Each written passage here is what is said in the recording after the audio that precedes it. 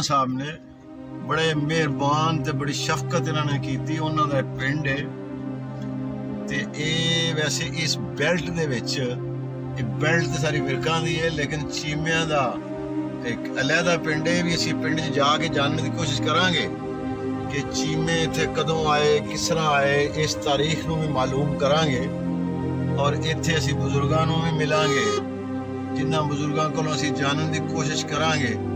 ਕਿ ਇਸ ਪਿੰਡ 'ਚ ਪਾਕਿਸਤਾਨ ਬਣਨ ਤੋਂ ਪਹਿਲਾਂ ਕਿਹੜੀਆਂ-ਕਿਹੜੀਆਂ ਕੌਮਾਂ ਰਹਿੰਦੀਆਂ ਸਨ? ਔਰ ਉਹਨਾਂ ਦਾ ਆਪਸ ਰਹਿਣ ਸਹਿਣ ਕਿਸ ਤਰ੍ਹਾਂ ਸੀ? ਉਹਨਾਂ ਦੀ ਵਰਤੋਂ ਕੀ ਸੀ?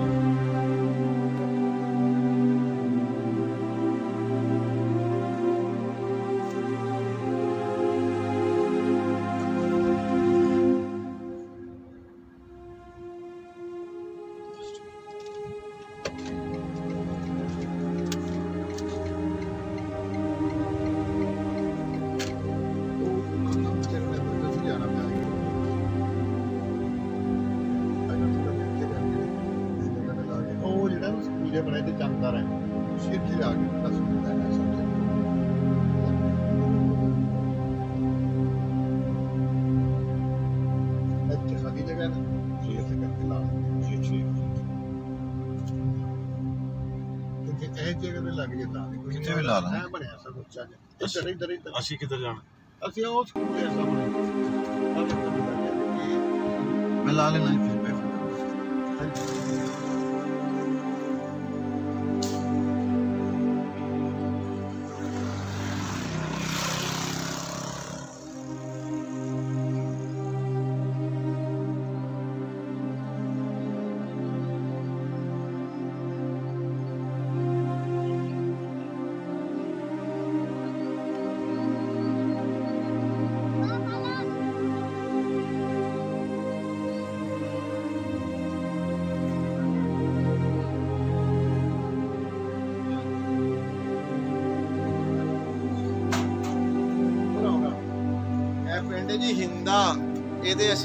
ਚੜ੍ਹਦੇ ਪਾਸੇ ਖਲੋਤੇ ਆ। ਇਹ ਤੁਹਾਨੂੰ ਇਹਦੀ ਆਬਾਦੀ ਦਿਖਾ ਰਹੇ ਆ। ਚੀਮਾ ਸਾਹਿਬ ਨੂੰ ਅਸੀਂ ਨਾਲ ਲੈਨੇ ਆ। ਇਹ ਉਹਦੀ ਇਹਦੀ ਪੁਰਾਣੀ ਆਬਾਦੀ ਹਿੰਦਾ ਦੀ ਜੀ। ਇਹ ਸੜਕ ਚੀਮਾ ਸਾਹਿਬ ਕਿੱਥੇ ਜਾਂਦੀ ਹੈ? ਇਹ ਸੜਕ ਜਿਹੜੀ ਹੈ, ਇਹ ਹਿੰਦਾ ਤੋਂ ਲੰਘ ਕੇ ਤੇ ਚੀਟੀ ਰੋਡ ਤੇ ਚਲੀ ਜਾਂਦੀ ਹੈ। ਇਧਰੋਂ ਪੀਲੋ ਨੂੰ ਜਾਂਦੀ ਹੈ। ਤੇ ਇਹ ਇਹਦੇ ਇਹਦੀਆਂ ਜ਼ਮੀਨਾਂ ਨੇ ਜੀ। ਇਹ ਹੁਣ ਪੂੰਜੀ ਲੱਗਦੀ ਹੈ ਭਈ। ਉਹ ਟਰੈਕਟਰ ਜਿਹੜਾ ਉਹ ਕੱਦੂ ਕਰਦਾ ਪਿਆ।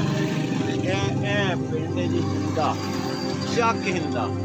ਤੇ ਲੋ ਜੀ ਇਹਦਾ ਤੁਹਾਨੂੰ ਅਸੀਂ ਕੁਝ ਥੋੜਾ ਬਹੁਤਾ ਦਿਖਾਇਆ ਹੈ। ਕੋਸ਼ਿਸ਼ ਕਰਾਂਗੇ ਅਗਰ ਇੱਥੇ ਕੋਈ ਘਰ ਕੋਰ ਮਕਾਨ ਮਕੂਨ ਬਚਿਆ ਹੈ ਤੇ ਉਹਨੂੰ ਦਿਖਾਈਏ ਚੈੱਕ ਕਰ ਲਈ? ਬਿਸਮਿਲ੍ਲਾਹਿਰਰਹਿਮਾਨਿਰਰਹੀਮ ਵੰਡ ਪੰਜਾਬ ਦੀ 1947 ਦੇ ਹਵਾਲੇ ਨਾਲ ਅਸੀਂ ਮੁxtਲਫ ਪਿੰਡਾਂ ਜਾਂਦੇ ਹਾਂ। ਸਾਡੀ ਟੀਮ ਵਾਸੇ ਰਾਣਾ ਸੇਲ ਅਹਿਮਦ ਪੱਟੀ ਅਸਮਾਨ ਰਾਣਾ ਅੱਜ ਅਸੀਂ ਹਾਂ ਚੱਕ ਹਿੰਦਾ। ਚੱਕ ਹਿੰਦਾ ਹੈ, ਜ਼ਿਲ੍ਹਾ ਗੁਜਰਾਂਵਾਲੇ ਦਾ ਹੀ ਇੱਕ ਪਿੰਡ ਹੈ ਤੇ ਇੱਕ ਤਹਿਸੀਲ ਦੀ ਕਾਮੋਂ ਕੀ ਹੈ। ਤੇ ਇੱਥੇ ਸਾਡੇ ਕੋਲ ਬੜੇ ਸਾਡੇ ਮਿਹਰਬਾਨ ਮੁਹੰਮਦ ਅਜ਼ੀਮ ਚੀਮਾ ਸਾਹਿਬ ਨੇ। ਉਹ ਸਾਨੂੰ ਮਿਲੇ ਨੇ ਔਰ ਉਹਨਾਂ ਨਾਲ ਗੱਲਬਾਤ ਕਰਾਂਗੇ, ਉਹਨਾਂ ਨੂੰ ਪੁੱਛਾਂਗੇ ਕਿ ਪਾਕਿਸਤਾਨ ਬਣਨ ਤੋਂ ਪਹਿਲਾਂ ਇਸ ਪਿੰਡ 'ਚ ਕਿਹੜੀਆਂ-ਕਿਹੜੀਆਂ ਕੌਮਾਂ ਰਹਿੰਦੀਆਂ ਸਨ। ਉਹਨਾਂ ਦਾ ਰਹਿਣ ਸਹਿਣ ਕਿਸ ਤਰ੍ਹਾਂ ਸੀ, ਉਹਨਾਂ ਦੀ ਵਰਤੋਂ ਕਿਸ ਤਰ੍ਹਾਂ ਸੀ। ਇਹਨਾਂ ਦੀ ਡੇਟ ਆਫ ਬਰਥ ਤੇ ਪਾਕਿਸਤਾਨ ਬਣਨ ਤੋਂ ਬਾਅਦ ਹੈ, ਲੇਕਿਨ ਬਹੁਤ ਹੀ ਜਿਹੜਾ ਇਹ ਇਸ ਮਾਮਲੇ 'ਚ ਇਹਨਾਂ ਦੀ ਮਾਲੂਮਾਤ ਬਹੁਤ ਹੈ ਔਰ ਇਹਨਾਂ ਨੇ ਦੋ ਚਾਰ ਵਿਜ਼ਿਟ ਵੀ ਕੀਤੇ ਨੇ ਮਸ਼ਰਕੀ ਪੰਜਾਬ ਦੇ ਤੇ ਸਾਡੀ ਵੀਡੀਓ ਬੜੀ ਅੱਛੀ ਰਹੇਗੀ ਪੜ੍ਹੇ ਲਿਖੇ ਵੀ ਬਹੁਤ ਨੇ ਇਹ ਆਪਣਾ ਤਾਰਫ ਆਪ ਹੀ ਕਰਾਣਗੇ ਤੇ ਅਸੀਂ ਇਹਨਾਂ ਨਾਲ ਗੱਲਬਾਤ ਸ਼ੁਰੂ ਕਰਨੇ ਜੀ। ਅਸਲਾਮ ਅਲੈਕਮ ਚੀਮਾ ਸਾਹਿਬ। ਵਾਲੇਕਮ ਸਲਾਮ। ਚੀਮਾ ਸਾਹਿਬ ਤੁਹਾਡਾ ਨਾਮ ਮੁਕੰਮਲ ਜੀ। ਰਾਣਾ ਸਾਹਿਬ ਮੇਰਾ ਨਾਮ ਮੁਹੰਮਦ ਅਜ਼ੀਮ ਚੀਮਾ ਹੈ ਮੇਰੇ ਵਾਲਦ ਦਾ ਨਾਮ ਮੁਹੰਮਦ ਅਬਦੁੱਲਾ ਚੀਮਾ। ਮੇਰੇ ਦਾਦੇ ਦਾ ਨਾਮ ਫਤਿਹਦੀਨ ਚੀਮਾ ਤੇ ਮੇਰੇ ਪੜਦਾਦੇ ਦਾ ਨਾਮ ਚੂੜ ਤੇ ਮੇਰੇ ਉਹਦੇ ਵਾਲਦ ਦਾ ਨਾਮ ਹੁਕਮਦੀਨ ਜਿਹੜਾ ਹੁਕਮ ਚੰਦ ਤੋਂ ਹੁਕਮਦੀਨ ਚ ਕਨਵਰਟ ਹੋਇਆ। ਅੱਛਾ ਅੱਛਾ ਅੱਛਾ ਅੱਛਾ। ਤੇ ਮੈਂ ਅਸੀਂ ਇਸ ਪਿੰਡ 'ਚ ਸਾਡੇ 'ਚ ਚੀਮਿਆਂ ਦੇ ਘਰ ਸਨ ਜਿਹੜੇ ਸਾਡੀ ਉਹ ਫੈਮਿਲੀ ਨੇ। ਜੀ। ਤੇ ਇੱਕ ਘਰ ਬਾਹਮਣਾਂ ਦਾ ਸੀ ਹੰਸਰਾਜ ਸੀ ਉਹਦਾ ਨਾਂ। ਅੱਛਾ ਜੀ। ਤੇ ਇੱਕ ਮਹਿਰਿਆਂ ਦਾ ਸੀ ਉਹ ਮੁਸਲਮਾਨ ਹੋ ਗਏ ਉਹ ਇੱਥੇ ਹੀ ਰਹਿ ਗਏ। ਅੱਛਾ ਜੀ। ਤੇ ਬਾਕੀ ਮੁਸਲਮਾਨਾਂ ਦੇ ਸਨ। ਤੇ ਬਾਕੀ ਉਹ ਸਾਡੇ ਆਪਣੇ ਜੀ ਸਨ ਸਾਡੇ ਪਿੰਡ ਦਾ 28 ਮਰਬੇ ਰਕਬਾ ਹੈ ਜੀ। ਜੀ ਜੋ 14 ਮਰਬੇ ਦੇ ਵਿੱਚ ਸਾਡੇ ਤਾਇਆ ਜੀ ਚਾਚਾ ਜੀ ਸਨ। ਉਹਨਾਂ ਦਾ ਕਪੂਰ ਸਿੰਘ ਚੀਮਾ ਉਹਨਾਂ ਦੇ ਵਾਲ ਨਾਂ ਸੋਹਣ ਸਿੰਘ ਉਹਨਾਂ ਦੇ ਵਾਲ ਨਾਂ ਜੋਧ ਜਿਹੜਾ ਸਾਡੇ ਸਾਰਿਆਂ ਦਾ ਸਭ ਤੋਂ ਵੱਡਾ ਚੌਧਰੀ ਗੁਜ਼ਰਿਆ ਸੀ। ਤੇ ਜਿਹੜਾ ਸਾਡਾ ਚਾਚਾ ਸੀ ਉਹੀ ਨੰਬਰਦਾਰ ਸੀ ਉਹਨਾਂ ਕਪੂਰ ਸਿੰਘ ਚੀਮਾ ਤੇ ਉਹ ਇਸ ਵੇਲੇ ਰਾਏਪੁਰ ਰਾਈਆਂ ਤਹਿਸੀਲ ਅਮਲੋ ਜ਼ਿਲ੍ਹਾ ਫਤਿਹਗੜ੍ਹ ਸਾਹਿਬ। ਜੀ ਜੀ। ਉਹਦੇ ਵਿੱਚ ਬੈਠੇ ਹੋਏ ਨੇ। ਜੀ। ਤੇ ਉਹਨਾਂ ਦਾ ਜਿਹੜਾ ਬੇਟਾ ਹੈ ਉਹਨਾਂ ਦਾ ਮੇਵਾ ਸਿੰਘ ਚੀਮਾ ਹੈ ਤੇ ਉਹ ਉੱਥੇ ਸਾਬਕਾ ਸਰਪੰਚ ਵੀ ਰਹੇ ਨੇ। ਅੱਛਾ ਅੱਛਾ। ਤੇ ਉਹਨਾਂ ਦਾ ਉੱਥੇ ਜਾ ਕੇ ਰਕਬਾ ਥੋੜਾ ਮਿਲਿਆ ਲੇਕਿਨ ਇੱਥੇ ਉਹਨਾਂ ਦਾ 14 ਮਰਬੇ ਰਕਬਾ ਸੀ। ਅੱਛਾ ਜੀ। 14 ਮਰਬੇ ਰਕਬੇ 'ਚ ਅਸੀਂ ਤਕਰੀਬਨ 8 ਘਰਾਂ ਤੇ 14 ਮਰਬੇ 'ਚ ਉਹ ਇਕੱਲੇ ਸਨ। ਕੀ ਹੋਇਆ? ਅੱਛਾ ਤੁਸੀਂ ਕਹਿ ਰਹੇ ਸੀ 14 ਮਰਬੇ ਉਹਨਾਂ ਦਾ ਰਕਬਾ ਉਧਰ ਥੋੜਾ ਮਿਲਿਆ ਜਾ ਕੇ। ਹਾਂ ਉਧਰ ਉਹਨਾਂ ਨੂੰ ਰਕਬਾ ਥੋੜਾ ਮਿਲਿਆ ਹੈ, ਲੇਕਿਨ ਇੱਥੇ ਉਹਨਾਂ ਦਾ 14 ਮਰਬੇ ਰਕਬਾ ਸੀ ਜੀਟੀ ਰੋਡ ਦੇ ਉੱਪਰ। ਅੱਛਾ। ਤੇ ਉਹ ਨੰਬਰਦਾਰ ਵੀ ਉਹੀ ਸਨ। ਅੱਛਾ ਜੀ। ਸਾਰਾ ਉਸ ਵਕਤ ਉਹਨਾਂ ਦੇ ਕੋਲ ਟਾਂਗਾ ਸੀ ਜਿਵੇਂ ਅੱਜ ਕੱਲ ਕਿਸੇ ਦੇ ਕੋਲ ਵੱਡੀਆਂ ਗੱਡੀਆਂ ਨੇ। ਉਸ ਵੇਲੇ ਇਹੋ ਹੀ ਸੀ ਉਹਨਾਂ ਦੇ ਆਪਣਾ ਸੀ ਆਪਣੇ ਸਾਰੇ ਉਹਨਾਂ ਦੇ ਨੌਕਰ ਚਾਕਰ ਸਨ। ਤੇ ਸਾਰੇ ਬਹੁਤ ਬੜੇ ਯਾਨੀ ਕਿ ਸਾਡੇ ਜ਼ਿਮੀਂਦਾਰ ਸਾਡੀ ਤਹਿਸੀਲ 'ਚ ਵੱਡਿਆਂ ਜ਼ਿਮੀਂਦਾਰਾਂ 'ਚ ਸ਼ਾਮਲ ਸਨ ਅੱਛਾ ਤੇ ਬਹੁਤ ਉਹ ਖੁਸ਼ਹਾਲ ਸਨ। ਅੱਛਾ ਅੱਛਾ। ਤੇ ਉਹ ਜਦੋਂ ਪਾਕਿਸਤਾਨ ਬਣਿਆ ਤੇ ਉਹਨਾਂ ਨੂੰ ਫਿਰ ਇੱਥੋਂ ਉਹਨਾਂ ਨੂੰ ਮਾਈਗ੍ਰੇਟ ਹੋਣਾ ਪੈ ਗਿਆ। ਜੀ ਜੀ। ਤੇ ਉੱਥੇ ਵੀ ਮੈਂ ਗਿਆ ਉੱਥੇ ਵੀ ਮਾਸ਼ਾਅੱਲਾ ਉਹਨਾਂ ਦਾ ਬਹੁਤ ਆਲਾ ਕਾਰੋਬਾਰ ਹੈ। ਇੱਕ ਉਹਨਾਂ ਦਾ ਜਿਹੜਾ ਬੱਚਾ ਹੈ ਉਹ ਕਾਸ਼ਤਕਾਰ ਹੈ ਤੇ ਇੱਕ ਰਾਇਲ ਫੋਰਸ ਇੰਗਲੈਂਡ ਦੇ ਵਿੱਚ ਉਹਨਾਂ ਦੀ ਜਿਹੜੀ ਫੌਜ ਹੈ ਬਰਤਾਨੀਆ ਦੀ ਇੰਗਲੈਂਡ ਦੀ ਉਹਦੇ ਵਿੱਚ ਅਫੀਸਰ ਹੈ। ਉਹ ਨਾਮ ਅੰਮ੍ਰਿਤਪਾਲ ਚੀਮਾ ਅੱਛਾ ਅੱਛਾ। ਠੀਕ ਹੈ ਦੂਸਰਾ ਨਾਮ ਜਗਪਾਲ ਚੀਮਾ ਮੇਵਾ ਸਿੰਘ ਚੀਮੇ ਦੇ ਤੇ ਕਪੂਰ ਸਿੰਘ ਚੀਮੇ ਦੇ ਪੋਤਰੇ ਨੇ। ਅੱਛਾ ਅੱਛਾ। ਤੇ ਮੈਂ ਇਹਨਾਂ ਦੇ ਕੋਲ 2005 ਵਿੱਚ ਗਿਆ। ਜੀ। ਉਸ ਤੋਂ ਪਹਿਲੇ ਇਹ ਜਿਹੜੇ ਸਾਡੇ ਚਾਚਾ ਜੀ ਨੇ ਉਹ ਕੋਈ ਪ੍ਰਾਪਤਾ ਐਡਾ ਖਾਸ ਨਾ ਹੋਇਆ। ਤੇ ਉਹਨਾਂ ਦਾ ਇੱਕ ਖਤ ਆਇਆ 1982 ਚ। ਜੀ। ਮੈਂ ਉਦੋਂ ਗਵਰਨਮੈਂਟ ਇਸਲਾਮੀਆ ਕਾਲਜ ਗੁਜਰਾਂਵਾਲੇ ਦੇ ਵਿੱਚ 12ਵੀਂ ਜਮਾਤ ਚ ਪੜ੍ਹਦਾ ਸੀ। ਜੀ। ਤੇ ਉਹ ਖਤ ਦੇ ਮੁਤਲਕ ਇਹ ਸਾਰੇ ਕਹਿਣ ਡੇ ਕਿ ਇਹਦੇ ਤੇ ਡਾਕ ਦੀ ਟਿਕਟ ਨਹੀਂ ਲੱਗੀ। ਮੈਂ ਕਿਹਾ ਵੀ ਡਾਕ ਦੀ ਟਿਕਟ ਤੇ ਤਾਂ ਲੱਗੇ ਜੇ ਡਾਕ 'ਚ ਆਵੇ ਜੀ ਜੀ। ਇਹ ਤਾਂ ਦਸਤੀ ਆਇਆ। ਇੱਕ ਬੰਦਾ ਲੈ ਕੇ ਆਇਆ ਸੀ। ਜੀ। ਉਹਦਾ ਮੈਂ ਜਵਾਬ ਦਿੱਤਾ ਤੇ ਜਿਹੜੇ ਸਾਡੇ ਚਾਚਾ ਜੀ ਸਨ ਕਪੂਰ ਸਿੰਘ ਚੀਮਾ ਉਹਨਾਂ ਨੇ ਉਹ ਖਤ ਪੜਾਇਆ ਤੇ ਉਹ 7 ਦਿਨ ਉਹਨਾਂ ਨੇ ਇੱਥੇ ਛਾਤੀ ਦੇ ਉੱਤੇ ਹਿੱਕ ਤੇ ਰੱਖ ਕੇ ਸੌਂਦੇ ਰਹੇ। ਹੂੰ ਹੂੰ। ਉਹ ਕਿਸੇ ਨੂੰ ਹੱਥ ਨਹੀਂ ਸਨ ਲਾਣ ਦਿੰਦੇ ਤੇ ਬਹੁਤ ਜਜ਼ਬਾਤੀ ਤੌਰ ਤੇ। ਉਹ ਮੈਂ ਉਹ ਫਿਰ ਉਸ ਤੋਂ ਬਾਅਦ ਮੈਂ ਆਪਣੇ ਵਾਲਦ ਨੂੰ ਵੀ ਲੈ ਕੇ ਗਿਆ ਲੇਕਿਨ ਜਦੋਂ ਮੈਂ 2005 ਚ ਗਿਆ ਤੇ ਬਾਅਦ ਕਿਸਮਤੀ ਨਾਲ 6 ਸਾਲ ਪਹਿਲੋਂ ਸਾਡੇ ਚਾਚਾ ਜੀ ਪੂਰੇ ਹੋ ਚੁੱਕੇ ਸਨ ਯਾਨੀ ਵਫਾਤ ਪਾ ਚੁੱਕੇ ਸਨ। ਤੇ ਉਹਨਾਂ ਦੇ ਬੇਟੇ ਨੇ ਮੇਰਾ ਬਹੁਤ ਇਸਤਕਬਾਲ ਕੀਤਾ ਬਹੁਤ ਜ਼ਿਆਦਾ ਇੱਜ਼ਤ ਕੀਤੀ ਤੇ ਉਹ ਸਾਰੀਆਂ ਜਿਹੜੀਆਂ ਸਾਡੀਆਂ ਭੈਣਾਂ ਨੇ ਜਿਹੜੀਆਂ ਕਪੂਰ ਸਿੰਘ ਚੀਮਾ ਸਾਹਿਬ ਦੀਆਂ ਧੀਆਂ ਨੇ ਉਹ ਮੇਰੀਆਂ ਭੈਣਾਂ ਨੇ ਉਹਨਾਂ ਦੇ ਕੋਲ ਵੀ ਮੈਂ ਸਾਰਿਆਂ ਕੋਲ ਗਿਆ। ਜੀ ਜੀ। ਤੇ ਉਹ ਸਾਡੇ ਇਹ ਇਸ ਹਵਾਲੇ ਦੇ ਨਾਲ ਸਨ ਤੇ ਇਹ ਮੇਰਾ ਤਾਰਫ ਹੈ। ਇਹ ਉਹਨਾਂ ਦਾ ਵੀ। ਅੱਛਾ ਚੀਮਾ ਸਾਹਿਬ ਇਹ ਤੁਹਾਡਾ ਪਿੰਡ ਜਿਹੜਾ ਹੈ ਹਾਂਜੀ। ਚੱਕ ਹਿੰਦਾ। ਜੀ। ਇਹ ਬੈਲਟ ਤੇ ਸਾਰੀ ਜਿਹੜੀ ਨਾ ਵਿਰਕਾਂ ਦੀ। ਹਾਂਜੀ। ਲੇਕਿਨ ਇੱਥੇ ਇਹ ਬਿਲਕੁਲ ਅਲੱਗਾ ਪਿੰਡ ਚੀਮਿਆਂ ਦਾ ਹੋਣਾ। ਹਾਂਜੀ। ਇੱਕ ਇਹ- ਇਹਦੀ ਕੀ ਵਜ੍ਹਾ ਜੀ? ਇਹਦੀ ਵਜ੍ਹਾ ਵੀ ਇਹ ਰਾਣਾ ਸਾਹਿਬ ਕਿ ਸਾਡਾ ਜਿਹੜਾ ਬੁਨਿਆਦੀ ਪਿੰਡ ਹੈ ਨਾ ਜਿਹੜਾ ਓਰੀਜਨ ਹੈ ਸਾਡਾ ਜੀ। ਉਹ ਮਿੱਤਰਾਂ ਵਾਲੀ ਹੈ ਤਹਿਸੀਲ ਡਸਕਾ ਜ਼ਿਲ੍ਹਾ ਸਿਆਲਕੋਟ ਜੀ ਜੀ। ਉਹਦੇ ਨਾਲ ਇੱਕ ਪਿੰਡ ਖਾਨੂ ਦੀ ਕੋਟਲੀ ਜੀ ਜੀ। ਇਹ ਖਾਨੂ ਦੀ ਕੋਟਲੀ ਚੋਂ ਤਕਰੀਬਨ 170 75 ਸਾਲ ਪਹਿਲੋਂ ਸਾਡੇ ਬਜ਼ੁਰਗ ਕਿਸੇ ਵਜ੍ਹਾ ਤੋਂ ਜਾਂ ਵੈਸੇ ਮਾਈਗ੍ਰੇਟ ਕਰਕੇ ਆ ਗਏ ਉਦੋਂ ਇਹ ਹਿੰਦੂ ਸਨ। ਅੱਛਾ ਜੀ। ਇਹ ਫਿਰ ਇੱਥੇ ਮੰਗਣ ਵਾਲੇ ਸਾਡੇ ਇੱਥੇ ਦਰਬਾਰ ਹੈ ਸਈਦਾਂ ਦਾ ਤੇ ਉਹਨਾਂ ਦੇ ਹੱਥ ਇੱਕ ਭਰਾ ਮੁਸਲਮਾਨ ਹੋ ਗਿਆ। ਅੱਛਾ ਜੀ। ਤੇ ਇੱਕ ਜਿਹੜਾ ਦੂਸਰਾ ਸੀ ਉਹ ਸਿੱਖ ਹੋ ਗਿਆ। ਅੱਛਾ ਜੀ। ਹਿੰਦੂ ਨਾ ਰਹੇ ਉਹ। ਜੀ ਜੀ। ਉਹ ਚਾਰ ਭਰਾ ਸਨ ਦੋ ਲਾ ਵਲਦ ਗਏ ਤੇ ਦੋ ਜਿਹੜੇ ਉਹਨਾਂ ਦੀ ਔਲਾਦ ਸਨ ਜਿਹੜਾ ਮੁਸਲਮਾਨ ਸੀ ਉਹਨਾਂ ਦੀ ਚ ਅਸੀਂ ਆ ਜੀ। ਤੇ ਹੋਰ ਮੇਰੇ ਦੂਸਰੇ ਚਾਚੇ ਸਨ ਤੇ ਉਹ ਵੀ ਹੁਣ ਫੌਤ ਫੂਤ ਹੋ ਗਏ ਨੇ ਅੱਬਾ ਜੀ ਫੌਤ ਹੋ ਗਏ ਨੇ। ਜੀ ਜੀ। ਤੇ ਉਹ ਹੁਣ ਬਾਕੀ ਜਿਹੜਾ ਸੀ ਨਾ ਮੇਵਾ ਸਿੰਘ ਚੀਮੇਰੀ ਜਿਹੜੇ ਨੇ ਨਾ ਦੂਸਰੀ ਸਾਡੀ ਪੱਤੀ ਜੀ। ਉਹਨਾਂ ਦਾ ਜਿਹੜਾ ਸੀ ਨਾ ਉਹ ਫਿਰ ਇਥੋਂ ਮਾਈਗ੍ਰੇਟ ਕਰ ਗਏ। ਇੰਡੀਆ ਚਲੇ ਗਏ। ਤੇ ਉਹ ਸਾਡਾ ਬੁਨਿਆਦੀ ਤੌਰ ਤੇ ਇੱਕੋ ਹੀ ਘਰ ਸੀ ਜਦੋਂ ਆਏ ਨੇ। ਅੱਛਾ ਅੱਛਾ ਤੇ ਉਹ ਉਦੋਂ ਅਸੀਂ ਹਿੰਦੂ ਸਾਂ ਅਸੀਂ ਸਿੱਖਾਂ ਤੋਂ ਮੁਸਲਮਾਨ ਨਹੀਂ ਹੋਏ। ਅਸੀਂ ਹਿੰਦੂਆਂ ਤੋਂ ਹੋਏ ਆ ਉਹ ਹਿੰਦੂਆਂ ਤੋਂ ਸਿੱਖ। ਕਨਵਰਟ ਹੋਏ। ਅਸੀਂ ਹਿੰਦੂਆਂ ਤੋਂ ਮੁਸਲਮਾਨ ਸਾਡਾ ਜਿਹੜਾ ਬਜ਼ੁਰਗ ਸੀ ਉਹਦਾ ਨਾਂ ਸੀ ਹੁਕਮ ਚੰਦ। ਜੀ ਜੀ। ਉਹ ਇਸਲਾਮ ਕਬੂਲ ਕਰਕੇ ਉਹਦਾ ਨਾਮ ਹੋ ਗਿਆ ਹੁਕਮ ਦੀਨ। ਜੀ ਜੀ। ਤੇ ਦੂਸਰਾ ਜਿਹੜਾ ਬਜ਼ੁਰਗ ਸੀ ਜਿਹਦੇ ਚੋਂ ਮੇਵਾ ਸਿੰਘ ਹਰੀ ਨੇ ਉਹ ਨਾਂ ਸੀ ਜੋਧ। ਅਸਲ 'ਚ ਸਾਡਾ ਉਹੀ ਚੌਧਰੀ ਸੀ। ਅੱਛਾ ਅੱਛਾ ਜੋਧ। ਜਦੋਂ ਪਹਿਲੀ ਜੰਗੇ ਅਜ਼ੀਮ ਲੱਗੀ ਏ ਤੇ ਇਥੋਂ ਅੰਗਰੇਜ਼ ਫੌਜਾਂ ਭਰਤੀ ਕਰਕੇ ਲੈ ਗਿਆ ਤੇ ਉਹਨਾਂ ਦੀ ਇੰਨੀ ਜੁਰਤ ਸੀ ਕਿ ਉਹਨਾਂ ਨੇ ਜਦੋਂ ਲਾਰਡ ਇਥੋਂ ਗੁਜ਼ਰ ਰਿਹਾ ਸੀ ਜੀਟੀ ਰੋਡ ਤੋਂ ਉਹਨੂੰ ਰੋਕਿਆ ਉਹਨੇ ਕਿਹਾ ਜੀ ਸਾਡੇ ਤੇ ਚਾਰ ਪੰਜ ਇੱਥੇ ਮਰਦ ਨੇ ਤੇ ਔਰਤਾਂ ਹੀ ਔਰਤਾਂ ਨੇ ਅਸੀਂ ਕਿਵੇਂ ਤੁਹਾਨੂੰ ਬੰਦੇ ਦੇ ਦਈਏ? ਉਹ ਲਾਰਡ ਲਿਖ ਗਿਆ ਕਿ ਇੱਥੋਂ ਤੁਸੀਂ ਬੰਦੇ ਭਰਤੀ ਨਾ ਕਰੋ ਆਲੇ ਦੁਆਲੇ ਦੇ ਪਿੰਡ ਵੀ ਫਿਰ ਉੱਥੇ ਆ ਕੇ ਰਹਿੰਦੇ ਰਹੇ। ਤੇ ਉਹ ਆ ਵੀ ਐਸਡੀਓ ਸਾਹਿਬ ਨੇ ਡਿਪਟੀ ਕਮਿਸ਼ਨਰ ਉਸ ਜ਼ਮਾਨੇ 'ਚ ਵੀ ਉਹਦੇ ਕੋਲ ਹੀ ਆਉਂਦਾ ਸੀ। ਉਹ ਬਹੁਤ ਬੰਦਾ ਕੰਪੀਟੈਂਟ ਇਸ ਸੀ। ਪੂਰੇ ਇਲਾਕੇ 'ਚ ਜੀ। ਪੂਰੇ ਇਸ ਇਲਾਕੇ ਦੇ ਵਿੱਚ। ਅੱਛਾ ਚੀਮਾ ਸਾਹਿਬ ਤੁਸੀਂ ਫਰਮਾਇਆ ਹੈ ਕਿ ਇੱਕ ਮਹਿਰਿਆਂ ਦਾ ਘਰ ਹਾਂ ਉਹ ਸਾਡੇ ਪਿੰਡ 'ਚ ਮੁਸਲਮਾਨ ਹੋ ਗਏ। ਹੋ ਗਏ ਨੇ। ਉਹ ਹੁਣ ਚਾਚਾ ਮੁਰਾਦ ਉਹਦਾ ਨਾਂ ਸੀ ਉਹ ਨਾਂ ਸੀ ਮੰਗਲ ਸਿੰਘ। ਤੇ ਸਲਾਮ ਲੈ ਲੈਂਦੇ ਬਾਤ ਕਰ। ਹੋਰ ਭਾਈ ਅੱਛਾ ਅੱਛਾ। ਬਹਿ ਜਾਓ। ਵਾਹਿਗੁਰੂ। ਅੱਛਾ ਉਹ ਫਿਰ ਮੁਸਲਮਾਨ ਹੋ ਗਏ ਤੇ ਉਹਨਾਂ ਦਾ ਨਾ ਫਿਰ ਨਾਮ ਬਦਲ ਕੇ ਤੇ ਉਹਨਾਂ ਦਾ ਤਸ਼ਰੀਫ ਮੁਰਾਦ ਅਲੀ ਰੱਖਿਆ ਗਿਆ। ਜਿਹੜਾ ਤੁਸੀਂ ਮਹਿਰਿਆਂ ਦੀ ਗੱਲ ਸੁਣਾਉਂਦੇ ਹੋ ਪਿਆ ਉਹਨਾਂ ਦਾ ਨੂੰ ਪਹਿਲਾ ਨਾਮ ਕੀ? ਉਹਦਾ ਸੀ ਮੰਗਲ ਸਿੰਘ। ਅੱਛਾ। ਉਹਦਾ ਫਿਰ ਨਾਂ- ਮੁਸਲਮਾਨ ਹੋ ਗਿਆ ਨਾਂ ਰੱਖਿਆ ਮੁਰਾਦ। ਅੱਛਾ ਅੱਛਾ ਅੱਛਾ ਠੀਕ ਹੈ ਉਹਦੇ ਵਾਲਦ ਦਾ ਨਾਂ ਹਰਾ ਸੀ। ਅੱਛਾ ਅੱਛਾ। ਤੇ ਉਹਦੇ ਹੁਣ ਬੱਚੇ ਨੇ ਇੱਕ ਦਾ ਨਾਮ ਮੁਹੰਮਦ ਸੈਨ ਹੈ ਇਸ ਤਰ੍ਹਾਂ ਕਰਕੇ ਬੱਚ- ਨੇ ਉਹ ਸਾਰਿਆਂ ਦਾ ਨਹੀਂ ਮੈਨੂੰ ਨਾਮ ਦਾ ਉਹ ਹੁਣ ਮਾਛੀ ਨੇ ਉਹ ਸਾਡੇ ਇੱਥੇ ਹੀ ਨੇ। ਅੱਛਾ ਅੱਛਾ। ਤੇ ਇਸ ਤੋਂ ਇਲਾਵਾ ਜਿਹੜੇ ਸਨ ਹੋਰ ਉਹ ਜਿਹੜੇ ਸਨ ਬਾਹਮਣਾਂ ਦਾ ਇੱਕ ਘਰ ਸੀ ਉਹ ਚਲਾ ਗਿਆ। ਅੱਛਾ ਇੱਕ ਘਰ ਸੀ? ਇੱਕ ਘਰ ਤੁਹਾਨੂੰ ਕੋਈ ਬਾਹਮਣ ਦੇ ਨਾਮ ਦਾ ਪਤਾ? ਹੰਸਰਾਜ ਸੀ ਉਹਦਾ ਨਾਮ। ਉਹ ਹੁਣ ਚਲੇ ਗਏ ਨਹੀਂ ਪਤਾ ਹੁਣ ਕਿੱਥੇ ਬੈਠੇ ਨੇ ਜਾ ਕੇ ਕਿੱਥੇ ਨਹੀਂ। ਉਹ ਜਿਹੜਾ ਸਾਡਾ ਚਾਚਾ ਮੁਰਾਦ ਹੈ ਨਾ ਜਿਹੜਾ ਅਸੀਂ ਮਹਿਰਾ ਦੱਸਨੇ ਆ ਜੀ। ਉਹਨਾਂ ਦੀ ਇੱਕ ਛੋਟਾ ਭਰਾ ਸੀ ਉਹਦਾ ਨਾਮ ਬੰਸਾ ਸੀ ਤੇ ਉਹਨਾਂ ਹੁਣ ਚਾਚਾ ਬਸ਼ੀਰ ਹੈ ਅੱਛਾ ਅੱਛਾ। ਤੇ ਉਹਨਾਂ ਦੀ ਇੱਕ ਭੈਣ ਸੀ ਤੇ ਉਹ ਵਿਆਹੀ ਸੀ ਤੇ ਉਹ ਸਹੁਰਿਓਂ ਚਲੀ ਗਈ ਉਹ ਮੁਸਲਮਾਨ ਨਹੀਂ ਹੋ ਸਕੀ। ਅੱਛਾ ਅੱਛਾ ਅੱਛਾ। ਉਹ ਆਪਣੇ ਸਹੁਰੇ ਸੀ ਨਾ ਤੇ ਉੱਥੋਂ ਹੀ ਮਾਈਗ੍ਰੇਟ ਕਰ ਮਾਈਗ੍ਰੇਟ ਹੋ ਹਾਂਜੀ। ਅੱਛਾ ਅੱਛਾ। ਤੇ ਚੀਮਾ ਸਾਹਿਬ ਇੱਥੇ ਕਿਸੇ ਖੱਤਰੀ ਦੀ ਦੁਕਾਨ ਵੀ ਐਸੀ ਬਾਬਨ ਦੀ। ਬਾਹਮਣ ਦੀ। ਸੀ। ਉਹ ਤੁਹਾਨੂੰ ਇਹ ਭਾਗ ਜੀ ਚਲੋ ਮੈਂ ਬਜ਼ੁਰਗਾਂ ਉਹ ਪੁੱਛਾਂਗਾ ਦੱਸਣਗੇ। ਅੱਛਾ ਚੀਮਾ ਸਾਹਿਬ ਤੁਸੀਂ ਸਾਨੂੰ ਇਹ ਦੱਸੋ। ਹਾਂਜੀ। ਤੁਸੀਂ ਤੁਹਾਡੀ ਡੇਟ ਆਫ ਬਰਥ ਕੀ? ਮੇਰੀ ਡੇਟ ਆਫ ਬਰਥ 15 ਅਪ੍ਰੈਲ 1966 ਹੈ। ਅੱਛਾ। ਹਾਂ।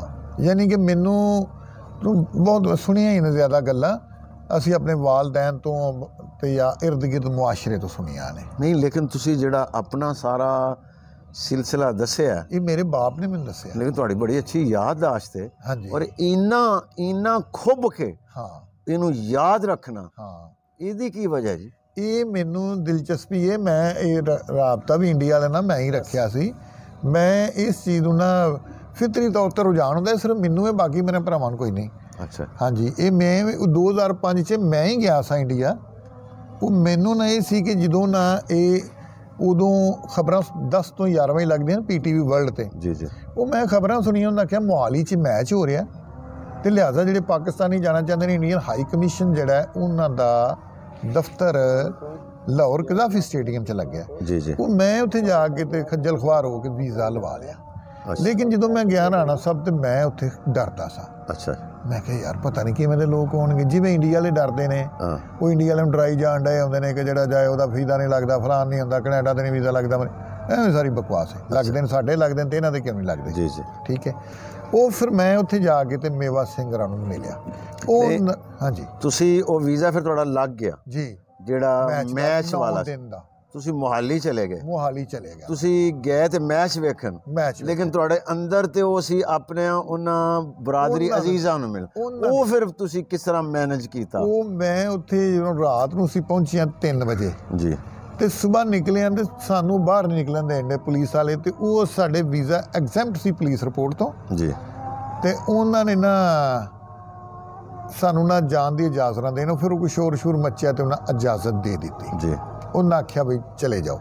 ਉਹ ਫਿਰ ਮੈਂ ਪਟਿਆਲੇ ਗਿਆ। ਪਟਿਆਲੇ ਤੋਂ ਮੈਂ ਅਮਲੋ ਗਿਆ। ਅਮਲੋ ਤੋਂ ਫਿਰ ਮੈਂ ਰਾਏਪੁਰ ਰਾਈਆਂ ਗਿਆ। ਉਹਨਾਂ ਨੇ ਮੈਨੂੰ ਬੜਾ ਵੈਲਕਮ ਕੀਤਾ। ਇਸ ਤਰ੍ਹਾਂ ਮੈਂ ਉਸ ਜਗ੍ਹਾ ਤੇ ਨਹੀਂ ਮੈਂ ਪੁੱਛਣਾ ਚਾਹਨਾ ਇਹ ਤੁਹਾਡੇ ਕੋਲ ਸਾਰਾ ਐਡਰੈਸ ਹੈ ਸੀ? ਹਾਂਜੀ ਮੇਰੇ ਕੋਲ ਇਹ ਪੋਸਟਲ ਐਡਰੈਸ ਸੀ ਐਡਰੈਸ। ਹੈ ਸੀ। ਹਾਂ। ਇਹ ਅਮਲੋ ਜਿਹੜਾ ਤੁਸੀਂ ਦੱਸਦੇ ਹੋ? ਜੀ ਜੀ। ਇਹ ਤਹਿਸੀਲ ਹੈ। ਤਹਿਸੀਲ ਸੀ ਉਦੋਂ ਪਟਿਆਲੇ ਦੀ? ਉਦੋਂ ਪਟਿਆਲੇ ਦੀ ਸੀ। ਹੁਣ ਫਤਿਹਗੜ੍ਹ ਸਾਹਿਬ ਇੱਕ ਨਵਾਂ ਜ਼ਿਲ੍ਹਾ ਉਹਨਾਂ ਬਣਾਇਆ ਹੈ। ਤੇ ਉਹਦੇ ਵਿੱਚ ਉਹ ਅਮਲੋ ਆ ਗਈ ਇਸ ਤਰ੍ਹਾਂ ਜਿਵੇਂ ਸਾਡੇ ਚ ਗੁਜਰਾਲੇ ਚੋਂ ਹਫਸਾਬਾਦ ਉਹਨਾਂ ਅਲੱਗਾ ਕਰ ਦਿੱਤਾ ਅੱਛਾ ਚੀਮਾ ਸਾਹਿਬ ਤੁਸੀਂ ਬਿਲਕੁਲ ਅਚਾਨਕ ਗਏ।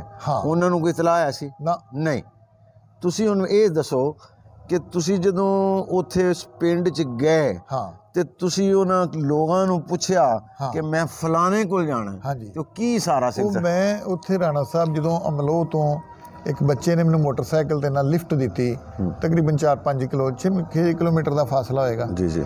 ਉਹ ਮੈਂ ਉੱਥੇ ਇੱਕ ਬਜ਼ੁਰਗ ਤੇ ਇੱਕ ਮਾਈ ਹੋਰੀ ਬੈਠੇ ਸਨ। ਉਹਨਾਂ ਨੂੰ ਪੁੱਛਿਆ ਉਹਨਾਂ ਆਖਿਆ ਜੀ ਉਹ ਮੇਵਾ ਸਿੰਘ ਸਾਡੇ ਨਾਲ ਦੋਤਰੇ ਲੱਗਦੇ ਨੇ ਤੇ ਅਸੀਂ ਤੁਹਾਨੂੰ ਮਿਲਾਨੇ ਆ ਉਹ ਮੇਰੇ ਨਾਲ ਉਹਨਾਂ ਬੱਚਾ ਭੇਜਿਆ। ਮੈਂ ਘਰ ਚਲਾ ਗਿਆ ਤੇ ਅੰਦਰ ਜਾ ਕੇ ਬੈਠ ਗਿਆ। ਉਹ ਕੋਈ ਕੰਮ ਕਰ ਰਹੇ ਸਨ ਸਰਪੰਚ ਸਨ। ਉਸ ਤੋਂ ਬਾਅਦ ਉਹ ਮੇਰੇ ਕੋਲ ਅੰਦਰ ਆ ਕੇ ਆਂਦੇ ਜੀ ਤੁਹਾਨੂੰ ਮੈਂ ਕਿਹਾ ਮੈਨੂੰ ਕੰਮ ਨਹੀਂ ਕਰਨਾ ਕੋਈ ਵੀ। ਮੈਂ ਤੇ ਤੇਰਾ ਭਰਾ ਵਾਂ ਪਾਕਿਸਤਾਨ ਚੋਂ ਆਇਆ। ਮੇਰਾ ਨਾਮ ਮੁਹੰਮਦ ਅਜ਼ੀਮ ਚੀਮਾ ਅੱਛਾ। ਉਹਨਾਂ ਨੇ ਫਿਰ ਮੈਨੂੰ ਮਿਲੇ ਫਿਰ ਉਹਨਾਂ ਫੌਰਨ ਸਾਰੇ ਰਿਸ਼ਤੇਦਾਰਾਂ ਨੂੰ ਫੋਨ ਕੀਤਾ ਉਹ ਫਿਰ ਸਾਰੇ ਦੇ ਸਾਰੇ ਜਿਹੜੇ ਨੇ ਉਹਨਾਂ ਨੂੰ ਤਲਾਕ ਕੀਤੀ ਤੇ ਉਹ ਫਿਰ ਮੈਨੂੰ ਨਾ ਉਹਨਾਂ ਦੇ ਹਵਾਲੇ ਦੇ ਨਾਲ ਹੀ ਅੱਗੇ ਆ ਸੁਖਵਿੰਦਰ ਵਿਰਕ ਸਾਹਿਬ ਨਹੀਂ ਇਹ ਅਸੀਂ ਗੱਲ ਬਾਅਦ 'ਚ ਕਰਾਂਗੇ। ਜੀ। ਤੋਂ ਅਸੀਂ ਜਿਨ੍ਹਾਂ ਕੋਲੋਂ ਉਹਨਾਂ ਦਾ ਐਡਰੈਸ ਪੁੱਛਿਆ ਉਹਨਾਂ ਦੇ ਘਰ ਛੱਡ ਕੇ ਤੁਹਾਨੂੰ ਬੈਠਕ 'ਚ ਬਾ ਦਿੱਤਾ ਉਹਨਾਂ ਕਿ ਤੁਹਾਡਾ ਕੋਈ ਮਿਲਣ ਵਾਲਾ। ਹੈ ਹਾਂਜੀ ਬਿਲਕੁਲ। ਕਿੰਨਾ ਅਚਾਨਕ ਹਾਂਜੀ। ਉਹ ਫਿਰ ਜਦੋਂ ਆਏ ਤੇ ਤੁਸੀਂ ਇਹ ਗੱਲ ਦੱਸੀ ਕਿ ਮੈਂ ਤੇਰਾ ਭਰਾ ਵਾਂ ਹਾਂ। ਤੇ ਫੇਰ ਕੀ ਹੋਇਆ? ਉਹ ਮੈਨੂੰ ਜ- ਗਲੇ ਲੱਗ ਗਿਆ। ਸੀ ਮੇਰਾ ਮਤਲਬ ਹੈ ਕਿ ਰੋਣ ਦੇ ਹੀ ਬਰਾਬਰ ਸਾਂ। ਹਾਂ ਹਾਂ। ਤੇ ਬੜੀ ਸਾਨੂੰ ਮੁਹੱਬਤ ਤੇ ਬੜਾ ਪਿਆਰ ਸਾਡੀ ਇੱਕ ਉਹਨਾਂ ਦੀ ਬੇਟੀ ਸੀ ਬਾਅਦ ਉਹ ਫੌਤ ਹੋ ਗਈ। ਬੜੀ ਅੱਛੀ ਬੱਚੀ ਉਹ। ਉਹ ਮੇਰੇ ਨਾਲ ਬਹੁਤ ਅਟੈਚ ਉਹ ਮੇਰੇ ਨਾਲ ਮੇਰੀ ਇੰਨੀ ਪਿਆਰੀ ਧੀ ਅੱਜ ਤੱਕ ਵੀ ਮੈਨੂੰ ਯਾਦ ਹੈ। ਉਹ ਕਿਸੇ ਵਜ੍ਹਾ ਤੋਂ ਬਿਮਾਰ ਹੋ ਕੇ ਵਿਚਾਰੀ ਫੌਤ ਹੋ ਗਈ। ਉਹ ਮੈਨੂੰ ਫੋਨ ਕਰਕੇ ਕਰਦੀ ਰਹਿੰਦੀ ਸੀ ਚਾਚੂ ਜੀ ਆ ਜਾਓ।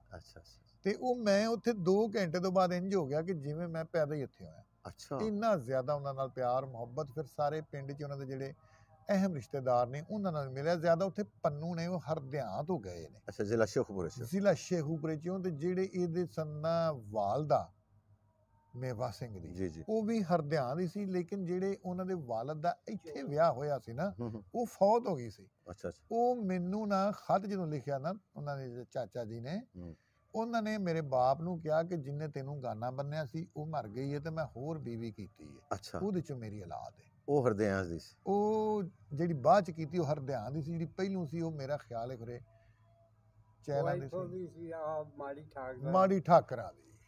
ਕਪੂਰ ਸਿੰਘ ਦੀ। ਆ ਉਹ ਬਾਕੀ ਤੁਹਾਨੂੰ ਠਾਕਰਾਂ। ਇਹ ਦੱਸਣਗੇ ਅੱਛਾ, ਤੁਸੀਂ-। ਇਹ ਇਹ ਦੱਸੋ ਚੀਮਾ ਸਾਹਿਬ। ਤੁਸੀਂ ਫਿਰ ਉੱਥੇ ਕਿੰਨੇ ਦਿਨ ਰਹੇ ਉਹਨਾਂ ਕੋਲ? ਮੈਂ ਉਹਨਾਂ ਕੋਲ ਰਿਹਾ 9 ਦਿਨ। ਅੱਛਾ ਉਹ ਮੈਂ ਚਲੇ 9 ਦਿਨ ਤੁਸੀਂ ਉੱਥੇ ਹੀ ਗੁਜ਼ਾਰੇ 9 ਦਿਨ ਮੈਂ ਉੱਥੇ ਹੀ ਗੁਜ਼ਾਰੇ ਜਾਂ ਇੱਕ ਮੇਰਾ ਦੋਸਤ ਹੈ ਜੱਸਾ ਸਿੰਘ ਆਲੋਵਾਲੀਆ। ਅੱਛਾ ਉਹ ਬਹੁਤ ਮੇਰਾ 1990 ਦਾ ਦੋਸਤ ਸੀ। ਉਹਦੇ ਨਾਲ ਵੀ ਮੈਂ ਕੁਝ ਟਾਈਮ ਗੁਜ਼ਾਰਿਆ। ਆਲੋਵਾਲ ਕਿੱਥੇ ਵੇ? ਆਲੋਵਾਲ ਇੱਥੇ ਸਾਡੇ ਇੱਥੇ ਵੇ ਜ਼ਿਲ੍ਹਾ ਸ਼ੇਖੂਪੁਰੇ ਚ ਪਿੰਡ ਹੈ ਅੱਛਾ ਅੱਛਾ। ਤੇ ਉਂਝ ਉਹ ਕਿਸੇ ਹਵਾਲੇ ਨਾਲ ਉਹ ਵੀ ਆਲੋਵਾਲੀ ਇਹਨਾਂ ਦਾ ਇੱਕ ਸਿੱਖਾਂ ਦਾ ਬੜਾ ਵੱਡਾ ਜਰਨੈਲ ਗੁਜ਼ਰਿਆ। ਉਹਦਾ ਨਾਮ ਹੀ ਜੱਸਾ ਸਿੰਘ ਆਲੋਵਾਲੀਆ ਸੀ। ਅੱਛਾ ਅੱਛਾ। ਠੀਕ ਹੈ ਇੱਕ ਜੱਸਾ ਰਾਮ ਗੜੀਆ ਤੇ ਇੱਕ ਜੱਸਾ ਆਲੋਵਾਲੀਆ ਅੱਛਾ। ਇਹ ਉਹਦੇ ਨਾਂ ਤੇ ਉਹਨਾਂ ਦਾ ਨਾਂ ਹੈ ਤੇ ਇਹ ਵੀ ਉੱਥੇ ਨਾ ਮੰਡੀ ਗੋਬਿੰਦਗੜ੍ਹ ਰਹਿੰਦੇ ਨੇ। ਅੱਛਾ ਬੜੇ ਗੁੱਡ ਬੰਦੇ ਨੇ ਬੜੇ ਆਲਾ ਬੰਦੇ ਨੇ ਬੜੇ ਗਿਆਨੀ ਬੰਦੇ ਨੇ ਸਮਝਦਾਰ ਬੰਦੇ ਨੇ। ਤੇ ਐਸਜੀਪੀਸੀ ਦੇ ਉਹ ਮੈਂਬਰ ਵੀ ਰਹੇ ਨੇ। ਅੱਛਾ ਅੱਛਾ। ਇਹ ਐਸਜੀਪੀਸੀ ਉਹਨਾਂ ਦੀ ਜਿਹੜੀ ਹੈ ਨਾ ਸ਼੍ਰੋਮਣੀ ਅਕਾਲੀ ਦਲ ਪ੍ਰਬੰਧਕ ਕਮੇਟੀ। ਪ੍ਰਬੰਧਕ ਕਮੇਟੀ ਉਹ ਦੇ ਉਹ ਬੜੀ ਅਹਿਮ ਹੈ ਉਹ ਸਾਡੇ ਅਹਿਮ ਮੈਂਬਰਾਂ ਨਾਲੋਂ ਵੀ ਉਹਦੀ ਅਸੀਂ ਜ਼ਿਆਦਾ। ਅੱਛਾ ਅੱਛਾ ਤੇ ਉਹਦੇ ਉਹ ਯਾਨੀ ਕਿ ਉਹ ਉਹਦੇ ਮੈਂਬਰ ਰਹੇ ਨੇ। ਅੱਛਾ ਅੱਛਾ। ਹੁਣ ਐਕਸ ਨੇ ਹੁਣ ਲੇਕਿਨ ਉਹ ਬੜੇ ਉਹਨਾਂ ਨੂੰ ਮੈਂ ਉਹਨਾਂ ਦੇ ਕੋਲ ਵੀ ਰਿਹਾ ਕੁਛ ਵਕਤ। ਅੱਛਾ ਤੇ ਉਹਦੇ ਵਿੱਚ ਵੀ ਮੈਂ ਨਾ ਜ਼ਿਆਦਾ ਟਾਈਮ ਉਹਨਾਂ ਦੇ ਕੋਲ ਰਿਹਾ।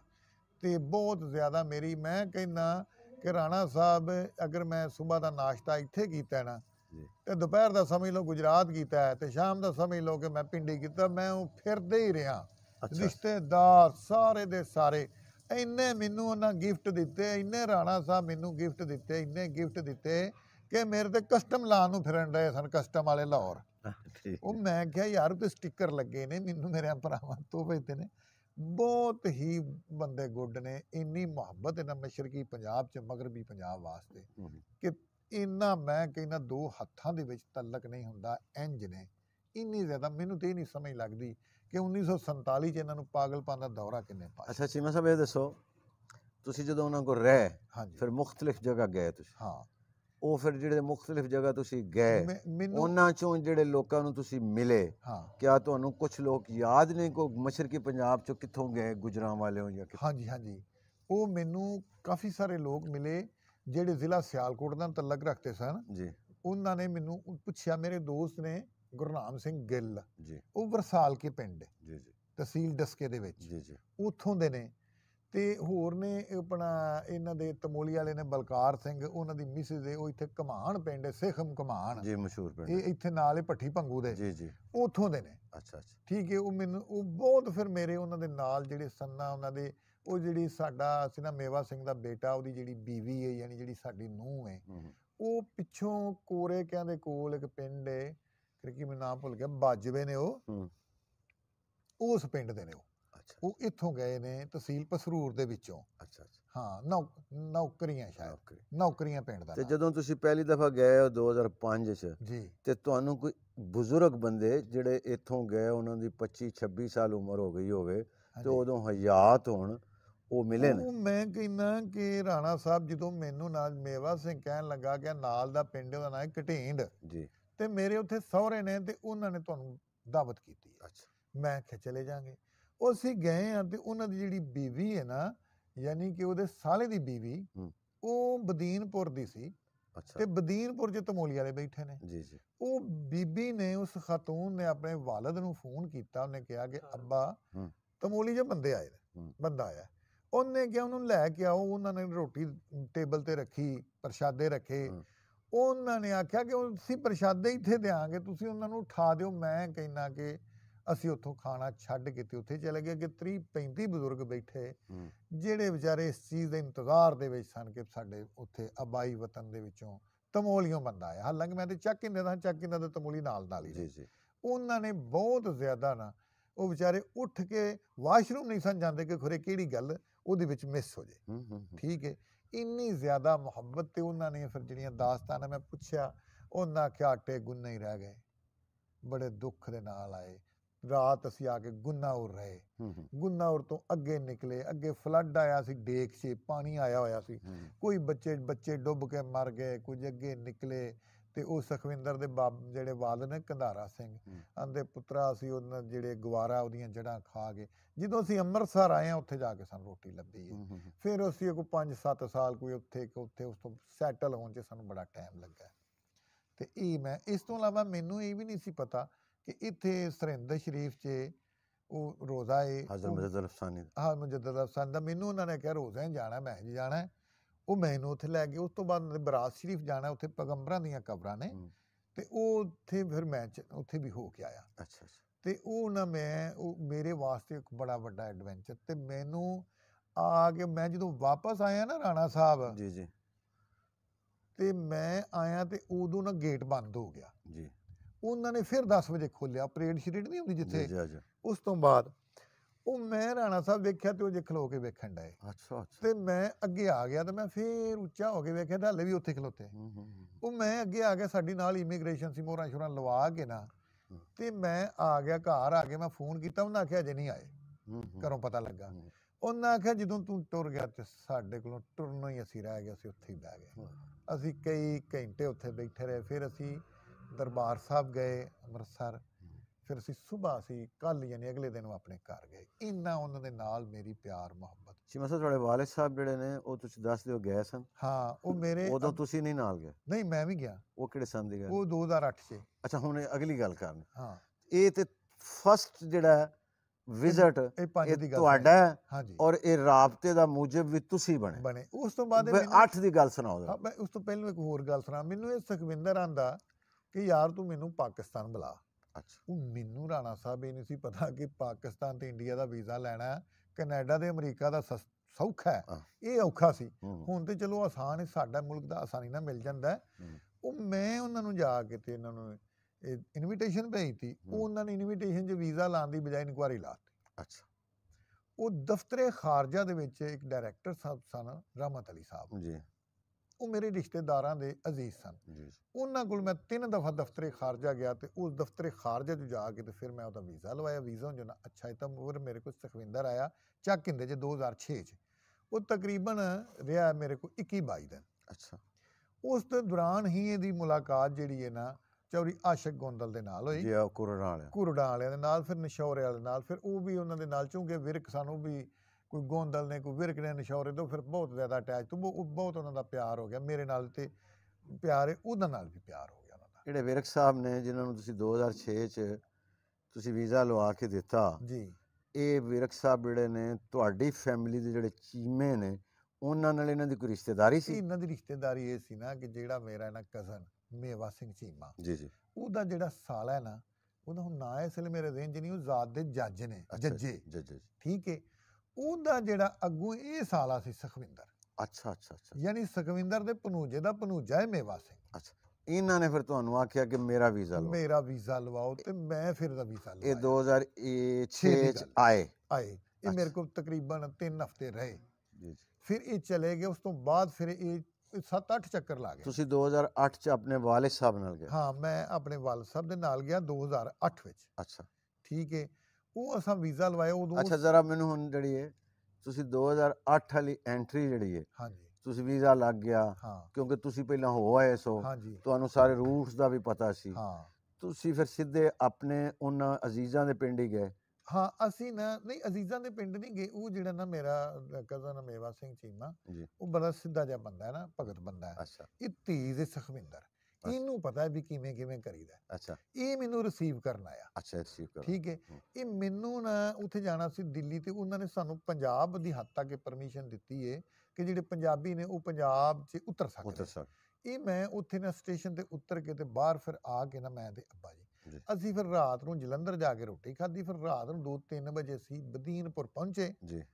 ਤੇ ਉਸ ਤੋਂ ਬਾਅਦ ਫਿਰ ਅੱਬਾ ਜੀ ਦੇ ਨਾਲ ਉੱਥੇ ਰਾਏਪੁਰ ਰਾਈਆਂ ਸੀ ਚਲੇ ਗਏ। ਉਹਨਾਂ ਦੀ ਉੱਥੇ ਇੱਕ ਭੈਣ ਜਿਉਂਦੀ ਸੀ ਜਿਹੜੀ ਤੁਹਾਨੂੰ ਭਾ ਨੂਰ ਦੱਸੇਗਾ। ਜੀ ਜੀ। ਠੀਕ ਹੈ। ਉਹ ਤੇ ਉਹਦੇ ਕੋਲ ਹੀ ਬੈਠੇ ਰਹੇ। ਉੱਥੇ ਤਕਰੀਬਨ ਜਿੰਨੇ ਦਿਨ ਵੀ ਰਹੇ। ਤੇ ਮੈਂ ਫਿਰ ਪਿੰਡਾਂ 'ਚ ਰਾਣਾ ਸਾਹਿਬ ਨਹੀਂ ਤੁਹਾਨੂੰ ਮੈਂ ਮੈਂ ਇਹ ਪੁੱਛਣਾ ਚਾਹਨਾ ਬੜੀ ਮਾਜ਼ਰਤ। ਤੁਹਾਡੇ ਵਾਲਿਦ ਸਾਹਿਬ ਹਾਂਜੀ। ਜਦੋਂ ਆਪਣੇ ਹਾਂ। ਆਪਣੇ ਭਰਾਵਾਂ ਨੂੰ ਜਾ ਕੇ ਮਿਲੇ ਤੁਸੀਂ ਤਾਂ ਪਹਿਲਾਂ ਮਿਲ ਭੈਣ ਨੂੰ ਨੂੰ ਮਿਲੇ। ਉਦੋਂ ਕੀ ਕੈਫੀਅਤ? ਓਏ ਹੋਏ ਉਹ ਬੜਾ ਗੱਲ ਲੱਗ ਕੇ ਰੋਂਦੇ ਰਹੇ ਬਹੁਤ ਜ਼ਿਆਦਾ। ਫਿਰ ਮੈਂ ਕਹਿੰਦਾ ਉਹ ਉੱਠਦੇ ਹੀ ਨਹੀਂ ਸਨ ਉਹ ਜਿੰਨੇ ਦਿਨ ਰਹੇ ਉੱਥੇ ਇਕੱਠੇ ਹੀ ਰਹੇ ਅੱਛਾ ਅੱਛਾ। ਉਹ ਤੇ ਹੁਣ ਉਹ ਵੀ ਫੌਤ ਹੋ ਗਏ ਨੇ ਫੁੱਫੋ ਸਾਡੀ ਵੀ। ਭੂਆ ਸਾਡੀ। ਉਹ ਫਿਰ ਉਹਨਾਂ ਦੇ ਕੋਲ ਹੀ ਰਹੇ ਨੇ। ਅੱਛਾ ਅੱਛਾ। ਤੇ ਉਹ ਦੋਵੇਂ ਭੈਣ ਭਰਾ ਗੱਲਾਂ ਕਰਦੇ ਰਹਿੰਦੇ ਸਨ। ਤੇ ਜਿਹਨੇ ਜਾਣਾ ਉੱਥੇ ਜਾ ਕੇ ਅੱਬਿਆਰਾਂ ਨੂੰ ਮਿਲਣਾ ਤੇ ਮੈਂ ਫਿਰ ਸਾਰਾ ਪੰਜਾਬ ਫਿਰਦਾ ਜਿੱਥੋਂ ਤੱਕ ਮੇਰੇ ਕੋਲ ਵੀਜ਼ਾ ਤੁਸੀਂ ਸੀ। ਇਹ ਹੁਣ ਤੁਹਾਡਾ ਦੂਸਰਾ ਵਿਜ਼ਿਟ ਸੀ। ਇਹ ਮੇਰਾ ਦੂਸਰਾ ਵਿਜ਼ਿਟ ਸੀ। ਤੁਸੀਂ ਇਹ ਗੱਲ ਸੁਣਾਉਂਦੇ ਸੋ ਪਏ ਕਿ ਮੈਂ ਕਿਸੇ ਜਗ੍ਹਾ ਕੋਈ ਚੀਜ਼ ਖਰੀਦ ਰਿਹਾ ਸਾਂ ਜਾਂ ਕੁਝ ਵੀ ਸੀ ਤੇ ਮੈਨੂੰ ਇੱਕ ਖੋਖੇ ਵਾਲੇ ਨੇ ਕਿਹਾ ਕਿ ਬਈ ਤੂੰ ਮੇਰੇ ਕੋਲੋਂ ਚਾਹ ਪੀ ਉਹ ਤੇ ਚੀਮਾ ਸਾਹਿਬ ਸੁਣਾਓ ਮੈਂ ਤੇ ਮੇਵਾ ਸਿੰਘ ਚੀਮਾ ਅਸੀਂ ਅਮਲੋ। ਅਮਲੋ ਚ ਗਏ ਆ। ਉੱਥੇ ਇੱਕ ਗਵਰਨਮੈਂਟ ਹਾਇਰ ਸੈਕੰਡਰੀ ਸਕੂਲ ਦੇ ਸਾਹਮਣੇ ਇੱਕ ਆਦਮੀ ਨੇ ਨਾ ਚਾਹ ਦਾ ਖੋਖਾ ਜਿਹਾ ਲਾਇਆ ਸੀ ਢਾਬਾ ਜਿਹਾ ਛੋਟਾ ਜਿਹਾ। ਅੱਛਾ। ਉਹਨੂੰ ਇਹ ਪਤਾ ਚੱਲਿਆ ਕਿ ਇਹ ਬੰਦੇ ਜਿਹੜੇ ਆਏ ਨੇ ਇਹ ਗੁਜਰਾਲੇ ਤੋਂ ਆਏ। ਅੱਛਾ। ਮੈਨੂੰ ਉਹਨਾਂ ਨੇ ਪੁੱਛਿਆ ਕਿ ਤੁਸੀਂ ਕਿੱਥੋਂ ਆਏ ਮੈਂ ਗੁਜਰਾਲੇ ਤੋਂ। ਉਹ ਮੈਨੂੰ ਕਹਿਣ ਲੱਗੇ ਕਿ ਤੁਸੀਂ ਨਾ ਸਾਡੇ ਕੋਲ ਚਾਹ ਪੀਓ। ਮੈਂ ਯਾਰ ਮੈਂ ਤੇ 18 ਚਾਹਾਂ ਅੱਗੇ ਪੀ ਚੁੱਕਿਆ ਹੁਣ ਮੇਰੇ ਕੋਲ ਨਹੀਂ ਪੀਤੀ ਜਾਣੀ। ਉਹਨਾਂ ਜਾ ਕੇ ਮੇਵਾ ਸਿੰਘ ਨੂੰ ਕਿਹਾ ਕਿ ਯਾਰ ਪਰੌਣੇ ਨੇ ਕੋਈ ਸਾਡੇ ਕੋਲ ਚਾਹ ਪੀਓ। ਮੈਨੂੰ ਕਹਿੰਦਾ ਪੀ ਲੈ ਚਾਹ। ਅੱਗੇ ਮੈਂ ਕਿਹਾ 18 ਪੀਤੀਆਂ ਨਾ ਦਾ ਚਲ 19 ਨਾਲ ਤੈਨੂੰ ਕੀ ਫ਼ਰਕ ਪੈ ਚੱਲਿਆ? ਪੀ ਲੈ। ਠੀਕ ਹੈ। ਉਹ ਮੈਨੂੰ ਬੰਦਾ ਪੁੱਛਦਾ ਕਿ ਤੁਸੀਂ ਛੋਟੀ ਸਿਵਲ ਲਾਈਨ ਵੇਖੀ ਹੈ? ਮੈਂ ਕਿਹਾ ਆਹੋ। ਹੂੰ, ਮੈਂ ਮੈਂ ਉੱਥੇ ਰਹਿਣਾ ਸ਼ਹਿਰ 'ਚ। ਆਂਦੇ ਤੇ ਉੱਥੇ ਹਿੰਦੂ ਹਾਈ ਸਕੂਲ ਵੇਖਿਆ? ਮੈਂ ਕਿਹਾ ਵੇਖਿਆ। ਉਹਨਾਂ ਆਖਿਆ ਮੈਂ ਉੱਥੇ 6ਵੀਂ 'ਚ ਪੜਦਾ ਤੇ ਰੋਣ ਲੱਗ ਪਿਆ ਬੜਾ। ਅੱਛਾ ਉਹ ਬੰਦਾ ਚਾਹ ਵਾਲੇ ਖੋਖਿਆ ਉਹਨੇ ਆਖਿਆ ਸਾਡਾ ਸ਼ਹਿਰ ਸੀ ਤੇ ਸਾਨੂੰ ਉੱਥੇ 47 ਚੋਂ ਕੱਢ ਦਿੱਤਾ ਗਿਆ। ਮੈਨੂੰ ਵੀ ਬੜਾ ਦੁੱਖ ਹੋਇਆ ਮੈਂ ਵੀ ਰੋ ਪਿਆ। ਹੂੰ, ਹੂੰ, ਹੂੰ। ਠੀਕ ਹੈ ਉਹਨਾਂ ਫਿਰ ਮੈਨੂੰ ਪੁੱਛਦਾ ਹੁੰਦਾ ਸਾਡੇ ਸ਼ਹਿਰ ਤੋਂ ਬਾਹਰ ਇੱਕ ਬਹੁਤ ਬੜੀ ਨਹਿਰ ਸੀ ਮੈਂ ਕਿਹਾ ਸ਼ਹਿਰ ਦੇ ਅੰਦਰ ਆ ਗਈ। ਹੂੰ। ਜਿਹੜੀ ਸਾਡੀ ਅੱਪਰ ਚਨਾਬ ਨਹਿਰ ਹੈ ਨਾ। ਇਹਦੀ ਗੱਲ ਕਰ ਰਹੇ ਹਾਂ ਤੇ ਮੈਂ ਕਿਹਾ ਪਰਾਂ ਵੜੀਆਂ ਵਾਲਾ ਪਿੰਡ ਨਹੀਂ ਸੀ ਹਾਂਜੀ। ਮੈਂ ਕਿਹਾ ਉੱਥੋਂ ਤੱਕ ਸ਼ਹਿਰ ਚਲਾ ਗਿਆ। ਅੰਦਰ ਫਿਰ ਤੇ ਬੜਾ ਤਗੜਾ ਸ਼ਹਿਰ ਹੋ ਗਿਆ। ਉਹਦੀ ਉਹ ਉਹ ਬੰਦਾ ਉਸ ਵੇਲੇ ਬੰਦੇ ਦੀ ਉਮਰ 60 70 ਸਾਲ ਹੋਈ ਚਾਹ ਦਾ ਖੋਖਾ ਸੀ। ਹਾਂ ਕੋਖਾ ਸੀ ਬੜਾ ਵਿਚਾਰਾ ਉਹ ਚੀਮਾ ਸਾਹਿਬ ਜਿਹੜਾ ਹਿੰਦੂ ਹਾਈ ਸਕੂਲ ਹੈ ਨਾ ਜੀ ਉਹ। ਇਕਬਾਲ ਹਾਈ ਸਕੂਲ ਮੰਡੀ ਦੇ ਸਾਹਮਣੇ ਜੀਸੀ ਰੋਡ ਵਾਲਾ। ਹਾਂ ਉਹ ਤੁਹਾਨੂੰ ਰਾਣਾ ਉਹਦੇ ਬੈਕ ਤੇ ਸਿਵਲ ਲਾਈਨ ਹੈ ਨਾ ਜੀ। ਹਾਂਜੀ ਹਾਂਜੀ। ਅੱਛਾ ਅੱਛਾ। ਉਹ ਮੈਨੂੰ ਨਹੀਂ ਸੀ ਪਤਾ ਮੈਨੂੰ ਇੰਨਾ ਹੀ ਪਤਾ ਸੀ। ਤੋਂ ਮੈਂ ਚੂੰਕਿ ਨਾ ਜ਼ਿਆਦਾ ਸ਼ਹਿਰ ਨੂੰ ਤੇ ਹੁਣ ਗਿਆ ਨਾ 2005 ਜੀ, 6 ਜੀ, ਚ ਜੀ, ਜੀ। ਮੈਂ ਉਦੋਂ ਪਿੰਡ ਹੀ ਸਾਂ। ਅੱਛਾ ਅੱਛਾ ਉਹ ਮੇਰਾ ਫਿਰ ਇਸ ਹਵਾਲੇ ਨਾਲ ਨਾ ਜ਼ਿਆਦਾ ਸੀ। ਅੱਛਾ ਅੱਛਾ। ਤੇ ਬਾਹਰ ਵਾਲ ਰਾਣਾ ਸਾਹਿਬ ਲੋਕਾਂ ਨੂੰ ਹੋਰਾਂ ਨੂੰ ਵੀ ਮਿਲੇ ਆ ਤੇ ਆਪਣੇ ਵਤਨ ਨੂੰ ਬੜਾ ਯਾਦ ਕੀਤਾ। ਉਹ ਜਿਹੜੇ ਲੋਕ ਇੱਥੋਂ ਗਏ ਨੇ। ਗਏ ਨੇ। ਇਹ ਜਿਹੜੇ ਮਾੜੀ ਠਾਕਰਾਂ ਚੋਂ ਸਾਨੂੰ ਦੱਸਿਆ ਬਜ਼ੁਰਗ ਉਹ ਹੁਣ ਫੌਤ ਹੋਏ ਨੇ। ਜੀ। ਥੋੜੀ ਦੇਰ ਹੋਈ ਉਹ ਵੀ ਮੈਨੂੰ ਮਿਲੇ। ਉਹ ਮੇਰੇ ਅੱਬਾ ਜੀ ਨੂੰ ਵੀ ਮਿਲੇ। ਹੂੰ ਉਹ ਜਦੋਂ ਉਹਨਾਂ ਨੂੰ ਵਿਆਹਣ ਗਏ ਨਾ ਹੂੰ। ਕਪੂਰ ਸਿੰਘ ਨੂੰ ਜੀ ਤੇ ਉਸ ਪਿੰਡ ਦੇ ਉਸ ਪਿੰਡ ਵੀ ਆਏ ਨਾਲ ਹੀ ਕੰਮ ਦੇ ਮਾੜੀ ਠਾਕਰਾਂ। ਜੀ ਜੀ। ਉਹ ਮਾੜੀ ਠਾਕਰਾਂ ਦੇ ਸਨ। ਤੇ ਉਹ ਉੱਥੇ ਉਹਨਾਂ ਨੂੰ ਮਿਲੇ ਵੀ। ਤੇ ਕਾਮੋਂ ਕਹਿੰਦੇ ਵਿਰਕ ਵੀ ਮੈਨੂੰ ਮਿਲੇ। ਅੱਛਾ ਸ਼ਹਿਰ ਦੇ? ਸ਼ਹਿਰ ਦੇ। ਮਕਾਮੀ? ਮਕਾਮੀ। ਤੇ ਸਾਰਿਆਂ ਦਾ ਹੀ ਮੈਂ ਪਰਾਉਣਾ ਡਸਕੇ ਵਾਲਿਆਂ ਦਾ ਮੈਂ ਪਰਾਉਣਾ ਪਸਰੂਰ ਵਾਲਿਆਂ ਦਾ ਮੈਂ ਪਰਾਉਣਾ ਸ਼ੇਖੂਰ ਵਾਲਿਆਂ ਦਾ ਮੈਂ ਪਰਾਉਣਾ ਸਿਆਲਕੋਟੀਆਂ ਬਹੁਤ ਜ਼ਿਆਦਾ ਇਹ ਕਿੰਨੇ ਵਿਜ਼ਿਟ ਨੇ ਤੁਹਾਡੇ? ਮੇਰੇ ਵਿਜ਼ਿਟ ਨੇ 4 2014 ਚ ਵੀ ਮੈਂ ਗਿਆ 2017 ਚ ਲਾਸਟ ਟਾਈਮ ਗਿਆ। ਅੱਛਾ। ਉਦੋਂ ਅਸੀਂ ਇਹਨਾਂ ਦੇ ਕੁਝ ਐਜੂਕੇਸ਼ਨ ਸਿਸਟਮ ਦਾ ਵੀ ਕਿਉਂਕਿ ਅਸੀਂ ਟੀਚਿੰਗ ਦੇ ਨਾਲ ਵਿਵਸਥਾ ਵਾ ਨਾ ਹਾਂ। ਤੇ ਇਸ ਤਰ੍ਹਾਂ ਕਰਕੇ ਨਾ ਉਹ ਬੜੀਆਂ ਖੁਸ਼ਗਵਾਰ ਯਾਦਾਂ ਨੇ ਹਾਂ ਤੁਹਾਡੀਆਂ ਬੜੀਆਂ ਖੁਸ਼ਗਵਾਰ ਬੜੀਆਂ ਖੁਸ਼ਗਵਾਰ। ਯਾਦਾਂ ਨੇ। ਮੈਂ ਸੁਣਿਆ ਹੈ ਕਿ ਤੁਸੀਂ ਇੱਥੇ ਆਉਣ ਵਾਲੇ ਜਿੰਨੇ ਲੋਕ ਨੇ ਜਿਨ੍ਹਾਂ ਦਾ ਉੱਥੇ ਤੁਹਾਡਾ ਨਾਲ ਰਾਬਤਾ ਹੋ ਗਿਆ ਤੁਸੀਂ ਬੜਾ ਉਹਨਾਂ ਨੂੰ ਵੈਲਕਮ ਕਰਦੇ ਹੋ ਔਰ ਬੜੇ ਮਹਿਮਾਨ ਨਵਾਜ਼ੀ ਬੜੀ ਮਹਿਮਾਨ ਉਹਦੀ ਜਾਈਦਾ ਉਹਨਾਂ ਨੂੰ ਜਾ ਕੇ ਬਾਰਡਰ ਤੋਂ ਰਿਸੀਵ ਕਰਕੇ ਲਿਆਈਦਾ ਔਰ ਉਹ ਵਿਚਾਰੇ ਜਿਹੜੇ ਆਉਂਦੇ ਨਾ ਫਸਟ ਟਾਈਮ ਰਾਣਾ ਸਾਹਿਬ ਪਤਾ ਨਹੀਂ ਕੀ ਮਿਸਕਨਸੈਪਸ਼ਨ ਪਾਸ ਕਰ ਛੱਡੀਏ।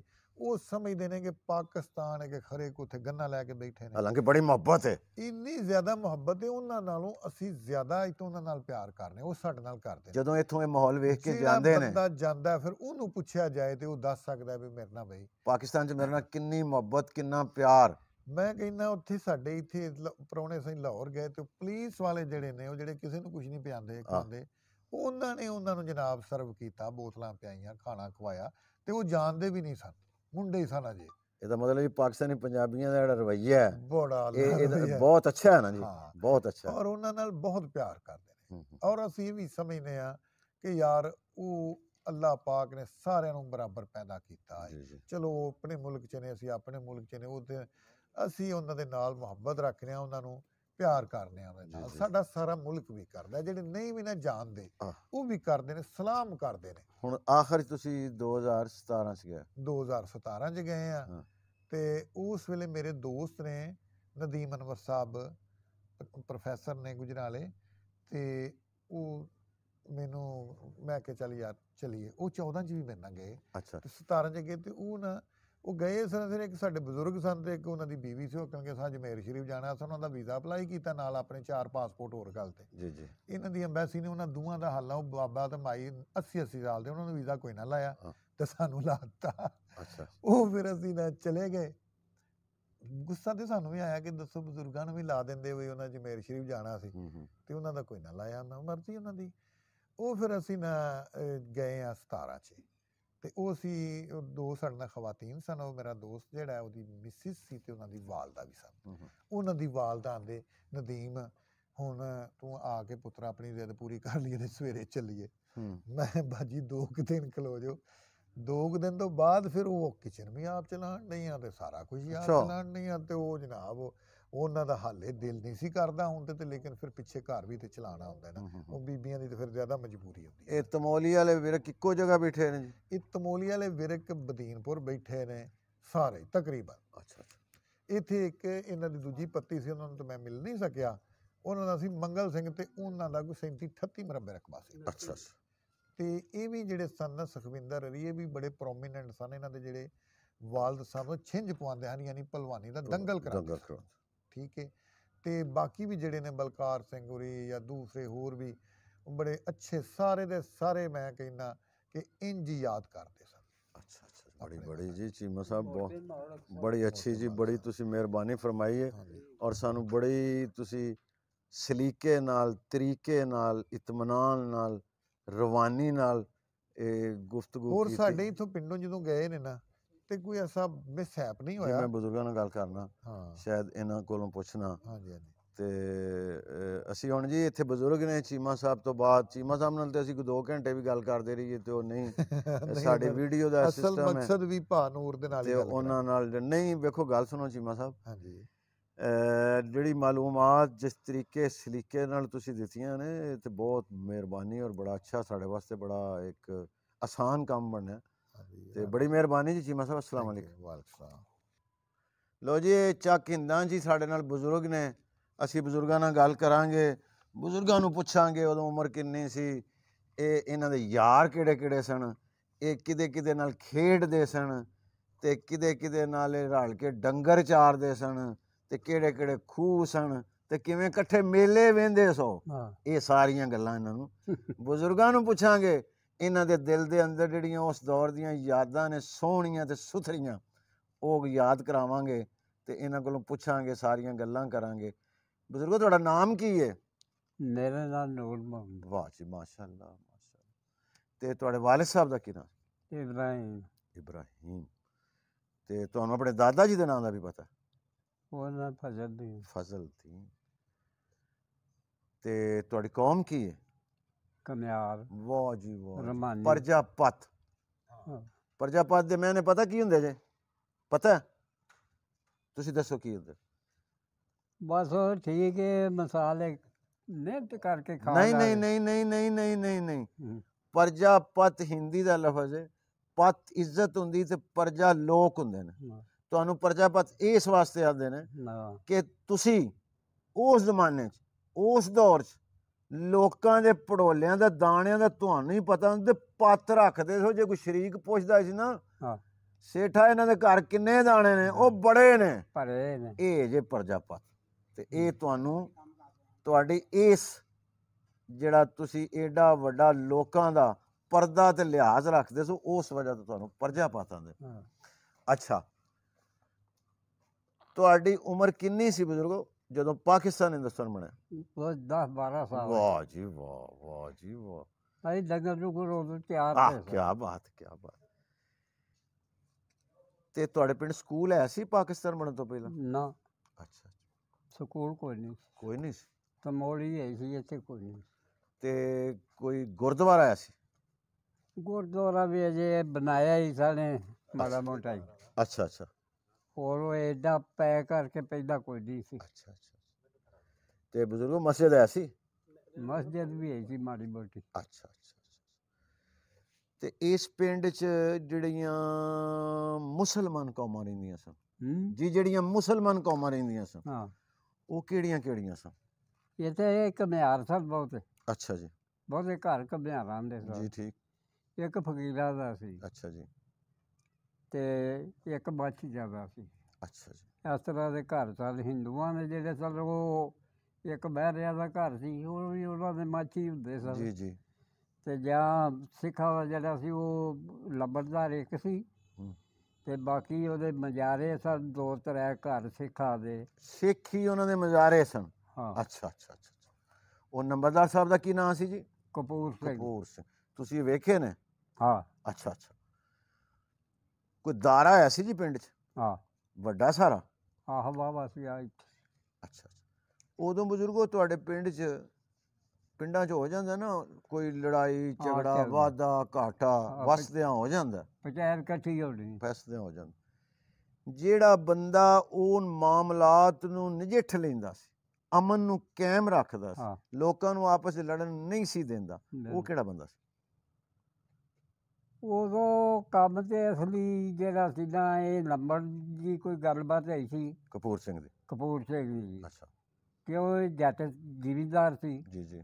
ਬਾਕੀ ਕੰਮ ਘਮਿਆਰਾਂ ਦਾ ਹੀ ਚੱਲਦਾ ਸੀ ਬਹੁਤ। ਜੀ ਬਹੁਤ ਐਸਾ। ਜੀ ਬਹੁਤ ਸੀ। ਤਗੜੇ ਘਰ ਚੋਖੇ ਸਨ। ਚੋਖੇ ਸਨ ਇਹਨਾਂ ਦੇ ਵਿੱਚ ਹੀ ਮੇਰਾ ਬਾਬਾ ਲੱਗਦਾ ਸੀ ਉਹਨੂੰ ਲੰਬੜ ਲੰਬੜ ਆਦੇ ਉਹ ਸਨ ਫਿਰ ਚੋਖੇ ਜੀਆਂ ਦਾ ਲੰਬੜ ਉਹ ਸੀ। ਨਾ ਉਹ ਸੀ। ਉਹ ਨਾਲੇ ਉਹ- ਉਦੋਂ ਬੰਦੇ ਦਨਾ ਹੁੰਦੇ ਸੀ। ਪਰ ਇਹ ਪੰਚਾਇਤ ਹੋਣੀ ਚ ਉਹਨੇ ਵੀ ਕੋਲੋਂ ਪੁੱਛਣਾ। ਹਾਂ ਸਿਆਣੇ ਬੰਦੇ ਹੁੰਦੇ ਸੀ ਹਾਂ। ਨਾ ਹਕਮਤ ਵਾਲੇ ਹੁੰਦੇ ਸੀ। ਬਜ਼ੁਰਗੋ ਪਾਕਿਸਤਾਨ ਬਣਨ ਤੋਂ ਪਹਿਲਾਂ ਤੁਹਾਡੀ ਹੋਸ਼ 'ਚ ਇਸ ਪਿੰਡ 'ਚ ਚੌਕੀਦਾਰ ਕੌਣ ਸੀ?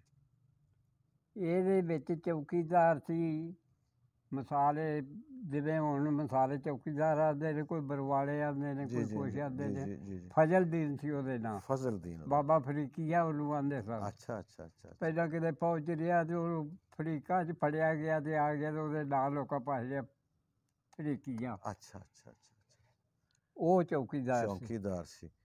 ਤੁਹਾਡੇ ਪਿੰਡ 'ਚ ਕੋਈ ਖਰਾਸ ਹੈ ਸੀ? ਖਰਾਸ ਹੈ ਜੀ। ਮੁਸਲਮਾਨ ਦਾ ਸੀ ਕਿ ਸਿੱਖ ਦਾ ਸੀ? ਮੁਸਲਮਾਨਾਂ ਦਾ। ਮੁਸਲਮਾਨ ਸਿੱਖ ਇਹ ਸਭ ਨੇ ਸਾਰੇ ਮੁਸਲਮਾਨ ਲੋਹਾਰ ਸਨ ਉਹਨਾਂ ਲਾਇਆ ਸੀ। ਉਹਨਾਂ ਲਾਇਆ ਸੀ ਅੱਛਾ ਅੱਛਾ ਅੱਛਾ ਤੇ ਤੁਹਾਡੇ ਪਿੰਡ 'ਚ ਬਜ਼ੁਰਗੋ ਖੂਹੀਆਂ ਹੈ ਸਨ ਪਾਣੀ ਪੀਣ ਵਾਲੀਆਂ ਚਰਖਲੀ ਵਾਲੀਆਂ? ਉਦੋਂ ਕੋਈ ਨਹੀਂ। ਕੋਈ ਨਹੀਂ ਸੀ। ਉਹ ਜਿਹੜੇ ਆਂਦੇ ਨੇ ਮਹਿਰੇ ਮਹਿਰੇ ਪਾਣੀ ਖੜਦੇ ਨੇ ਨਾ ਘਰਾਂ 'ਚ। ਖੂਹਾਂ ਤੋਂ। ਜਿਹੜੇ ਪਿੰਡ ਦੀ ਨਿਆਈ ਦਾ ਖੂਹ ਸੀ ਉੱਥੋਂ ਉਹ ਪਾਣੀ ਛੱਡਣ ਦਾ ਕੰਮ ਕੋਈ ਨਹੀਂ ਸਨ ਕਰਦੇ। ਮਹਿਰੇ? ਮੇਰੇ ਅੱਛਾ। ਤੇ ਉਦੋਂ ਦੇ ਦੂਜੇ ਵੀ ਮਾਛੀ ਐਸੇ ਨੇ ਇੱਕ ਘਰ ਸੀ। ਜੀ ਜੀ। ਪਾਣੀ ਦਾ ਕੰਮ ਉਹ ਵੀ ਕੋਲੇ ਸਨ ਲੋਕੀ ਆਪ ਹੀ ਆਪਣਾ ਖੂਹ ਪਿੰਡ ਦੇ ਵਿੱਚ ਸੀ। ਜੀ ਜੀ। ਉਹ ਵਗਦਾ ਰਹਿੰਦਾ ਸੀ, ਉੱਥੋਂ ਹੀ ਲੋਕਾਂ ਘੜਿਆ ਜੀ ਪਾ ਪਾ ਕੇ ਤੇ ਪਾਣੀ ਲੈ ਜਾਣਾ ਘਰੋਂ ਘਰ। ਅੱਛਾ ਅੱਛਾ ਅੱਛਾ ਅੱਛਾ। ਇੱਕ ਤੁਸੀਂ ਬਾਹਮਣ ਦੱਸ ਦਿਓ ਜੀ ਦੁਕਾਨ ਸੀ? ਹਾਂ ਹੰਸ ਬਾਮਣ ਵੇਖਿਆ ਜੇ ਚੰਗੀ ਤਰ੍ਹਾਂ? ਹਾਂ। ਅੱਛਾ ਜਦੋਂ ਤੁਸੀਂ ਵੇਖਿਆ ਕਿੰਨੀ ਕੁ ਉਮਰ ਸੀ ਉਹਦੀ? ਉਹ ਵਾਵਾ ਕਰੋੜ ਹੋਏ ਅਸੀਂ ਉਦੋਂ ਮਸਾਲੇ ਉਦੋਂ ਪੰਜਾਂ ਪੰਜਾਂ ਸੱਤਾਂ ਸੱਤਾਂ ਸਾਲਾਂ ਦੇ ਉਹਦੇ ਕੋਈ ਬੱਚੇ ਵੀ ਦੋ ਹੋਏ ਸਨ। ਕੋਈ ਉਹਨਾਂ ਦੇ ਬੱਚਿਆਂ ਚੋਂ ਕਿਸੇ ਦਾ ਨਾਂ ਯਾਦ ਜੇ? ਆ ਕਾਲਾ ਕਾਲਾ ਕਾਲੂ ਕਾਲੂ ਇੱਕ ਦੁਕਾਨ ਦੇ। ਸਾਲ ਵੱਡਾ ਜਿਹੜਾ ਸੀ। ਤੁਹਾਡੇ ਨਾਲ ਖੇਡਦਾ ਸੀ? ਨਾ ਛੋਟਾ ਹੀ ਸੀ ਮਸਾਲੇ ਦਾ ਉਂਝ ਤੁਹਾਨੂੰ ਯਾਦ ਹੈ ਹਾਂ। ਉਹਦਾ ਬਾਹਮਣ ਦਾ ਘਰ ਕਿੱਥੇ ਕਰਕੇ ਸੀ? ਕਾਰਾ ਵਿਚਲੇ ਸਾਲ ਸੀ ਪਿੰਡ ਦੇ ਆ ਗਲੀ ਦੇ ਅੱਧੀ ਦੇ ਵਿੱਚ ਹੀ ਸੀ। ਉੱਥੇ ਹੀ ਦੁਕਾਨ ਸੀ ਉੱਥੇ ਦੁਕਾਨ ਸੀ। ਦੁਕਾਨ ਵੀ ਉੱਥੇ ਹੀ। ਸਾਰੀ ਦਿਹਾੜੀ ਖੋਲੀ ਰੱਖਦਾ ਸੀ ਕਿ ਵੇਲੇ ਕੁ ਵੇਲੇ ਖੋਲਦਾ ਸੀ? ਬਸ ਖੋਲੀ ਹੀ ਰੱਖਦਾ ਸੀ। ਜਦੋਂ ਕਿਸੇ ਲੋੜੀ ਕੋਈ ਦੁਕਾਨ ਸੀ ਪਿੰਡ 'ਚ ਮਾੜੀ ਮੋਟੀ। ਆਹਾ ਠੀਕ ਹੈ ਠੀਕ ਦੋ ਭਰਾ ਸਨ ਉਹ ਇੱਕ ਦਾ ਬੂਟਾ ਸੀ। ਅੱਛਾ। ਬੂਟਾ ਬਾਬਨ ਤੇ ਇੱਕ ਦਾ ਹੰਸ ਬਾਬਨ। ਹੂੰ ਹੂੰ ਹੂੰ। ਤੁਹਾਡੇ ਹਾਣ ਦੇ? ਨਹੀਂ ਸਾਡੇ ਉਹ ਵੱਡੇ ਸਨ। ਨਹੀਂ ਜਿਹੜੇ ਕੋ ਤੁਹਾਡੇ ਹਾਣ ਦੇ ਮੁੰਡੇ ਸਨ। ਹਾਂ।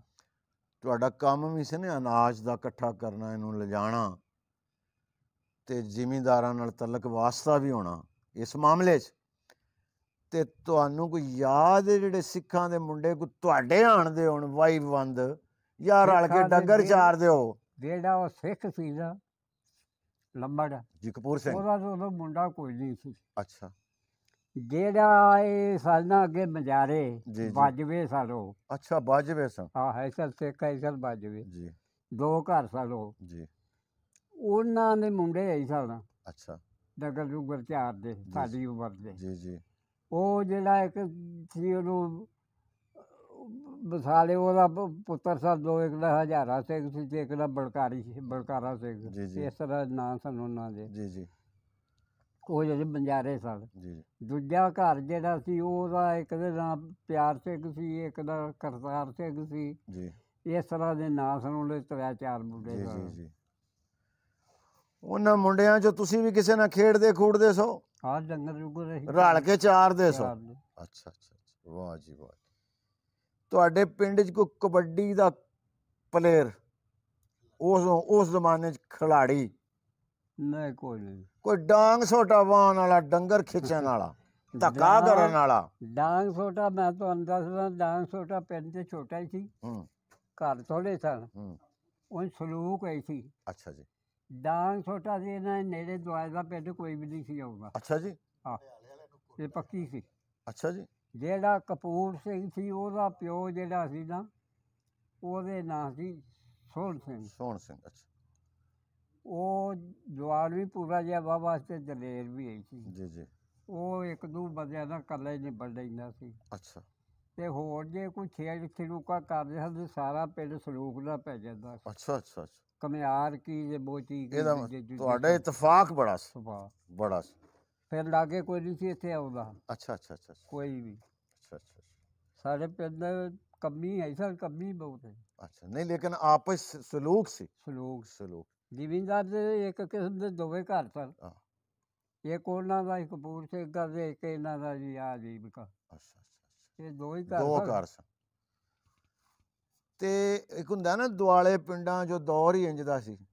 ਆ ਡੰਗਰ ਚੋਰੀ ਕਰਨ ਵਾਲੇ। ਹਾਂ ਕਰਦੇ ਸਨ ਬੜੇ। ਕੋਈ ਐ ਸੀ ਤੁਹਾਡੇ ਇਰਦ ਗਿਰਦ ਕੋਈ ਮਸ਼ਹੂਰ? ਸਾਡੇ ਆ ਮਨੇਜ ਜਿਹੜੇ ਜਿਹੜੇ ਬੜੇ ਪੱਕੇ ਚੋਰ ਸਨ। ਵੇਖਾਂ ਗੱਲ। ਇਹ ਪੱਕੇ ਚੋਰ ਸਨ ਨਾਮੀ। ਅੱਛਾ ਅੱਛਾ। ਗੱਡੀਆਂ ਵੀ ਲੁੱਟਦੇ ਸਨ ਹੂੰ। ਮਾਲ ਡੰਗਰ ਵੀ ਇਹ, ਕੋਠੇ ਕੁੱਲੇ ਵੀ ਫਿਰਦੇ ਹਨ ਦੂਰ ਦੂਰ ਤੱਕ। ਮਨੇਜ ਜਿਹੜੇ ਸਨ। ਇਹਨਾਂ ਇਹ ਜਿਹੜੇ ਮਨੇਸ ਨੇ ਨਾ। ਇਹਨਾਂ ਚੋਂ ਕਿਸੇ ਦਾ ਨਾਮ ਤੁਹਾਨੂੰ ਯਾਦ ਹੈ ਜਿਹੜਾ ਕੋਈ ਬਹੁਤਾ ਮਸ਼ਹੂਰ ਹੋਵੇ? ਮੱਖਣ ਸਿੰਘ ਇੱਕ ਦੁਆਨੇ ਹੁੰਦੇ ਸਨ ਮੱਖਣ ਸਿੰਘ? ਹਾਂ। ਅੱਛਾ। ਕੇਰ ਸਿੰਘ ਤੇ ਨਹੀਂ ਸੀ ਕੋਈ ਕੇਰੂ? ਕਿਹਨੂੰ ਵੀ ਹੋਏ ਨਾ ਸਹੀ ਪਰ ਉਹ ਤੇਰ ਵਾਵਾ ਹੋ ਗਿਆ ਨਾ ਖਿਆਲ ਚੋਂ ਭੁੱਲ ਜਾਂਦਾ। ਇਹ ਇਹ ਇਹ ਗੱਡੀਆਂ ਵੀ ਲੁੱਟ ਲੈਂਦੇ ਸਨ? ਗੱਡੀਆਂ ਵੀ ਲੁੱਟ ਲੈਂਦੇ ਰੇਲ ਗੱਡੀਆਂ ਹਾਂ। ਤੇ ਡੰਗਰ ਵੀ ਚੋਰੀ ਕਰ ਲੈਂਦੇ ਡੰਗਰ ਵੀ ਕਰ ਲੈਂਦੇ ਅੱਛਾ ਅੱਛਾ ਅੱਛਾ ਅੱਛਾ ਬੜੇ ਪੱਕੇ ਚੋਰ ਸਨ। ਇਹ ਮੇਸਣ ਇਹ ਗੱਡੀ ਇਸ ਤਰ੍ਹਾਂ ਸਾਡੇ ਪਿੱਛੋਂ ਗੱਡੀ 'ਚ ਬੈਗ ਮਾਲ ਗੱਡੀ ਆਉਣੀ ਵਿੱਚ ਉਦੋਂ ਜ਼ਮਾਨੇ 'ਚ ਕਿਸੇ ਮਕਈ ਹੋਣੀ ਜਾਂ ਕਣਕ ਹੋਣੀ ਜਾਂ ਮਸਾਲੇ ਕੋ ਖਾਲੀ ਚੱਲ- ਅਨਾਜ ਹੋਣਾ। ਅਨਾਜ।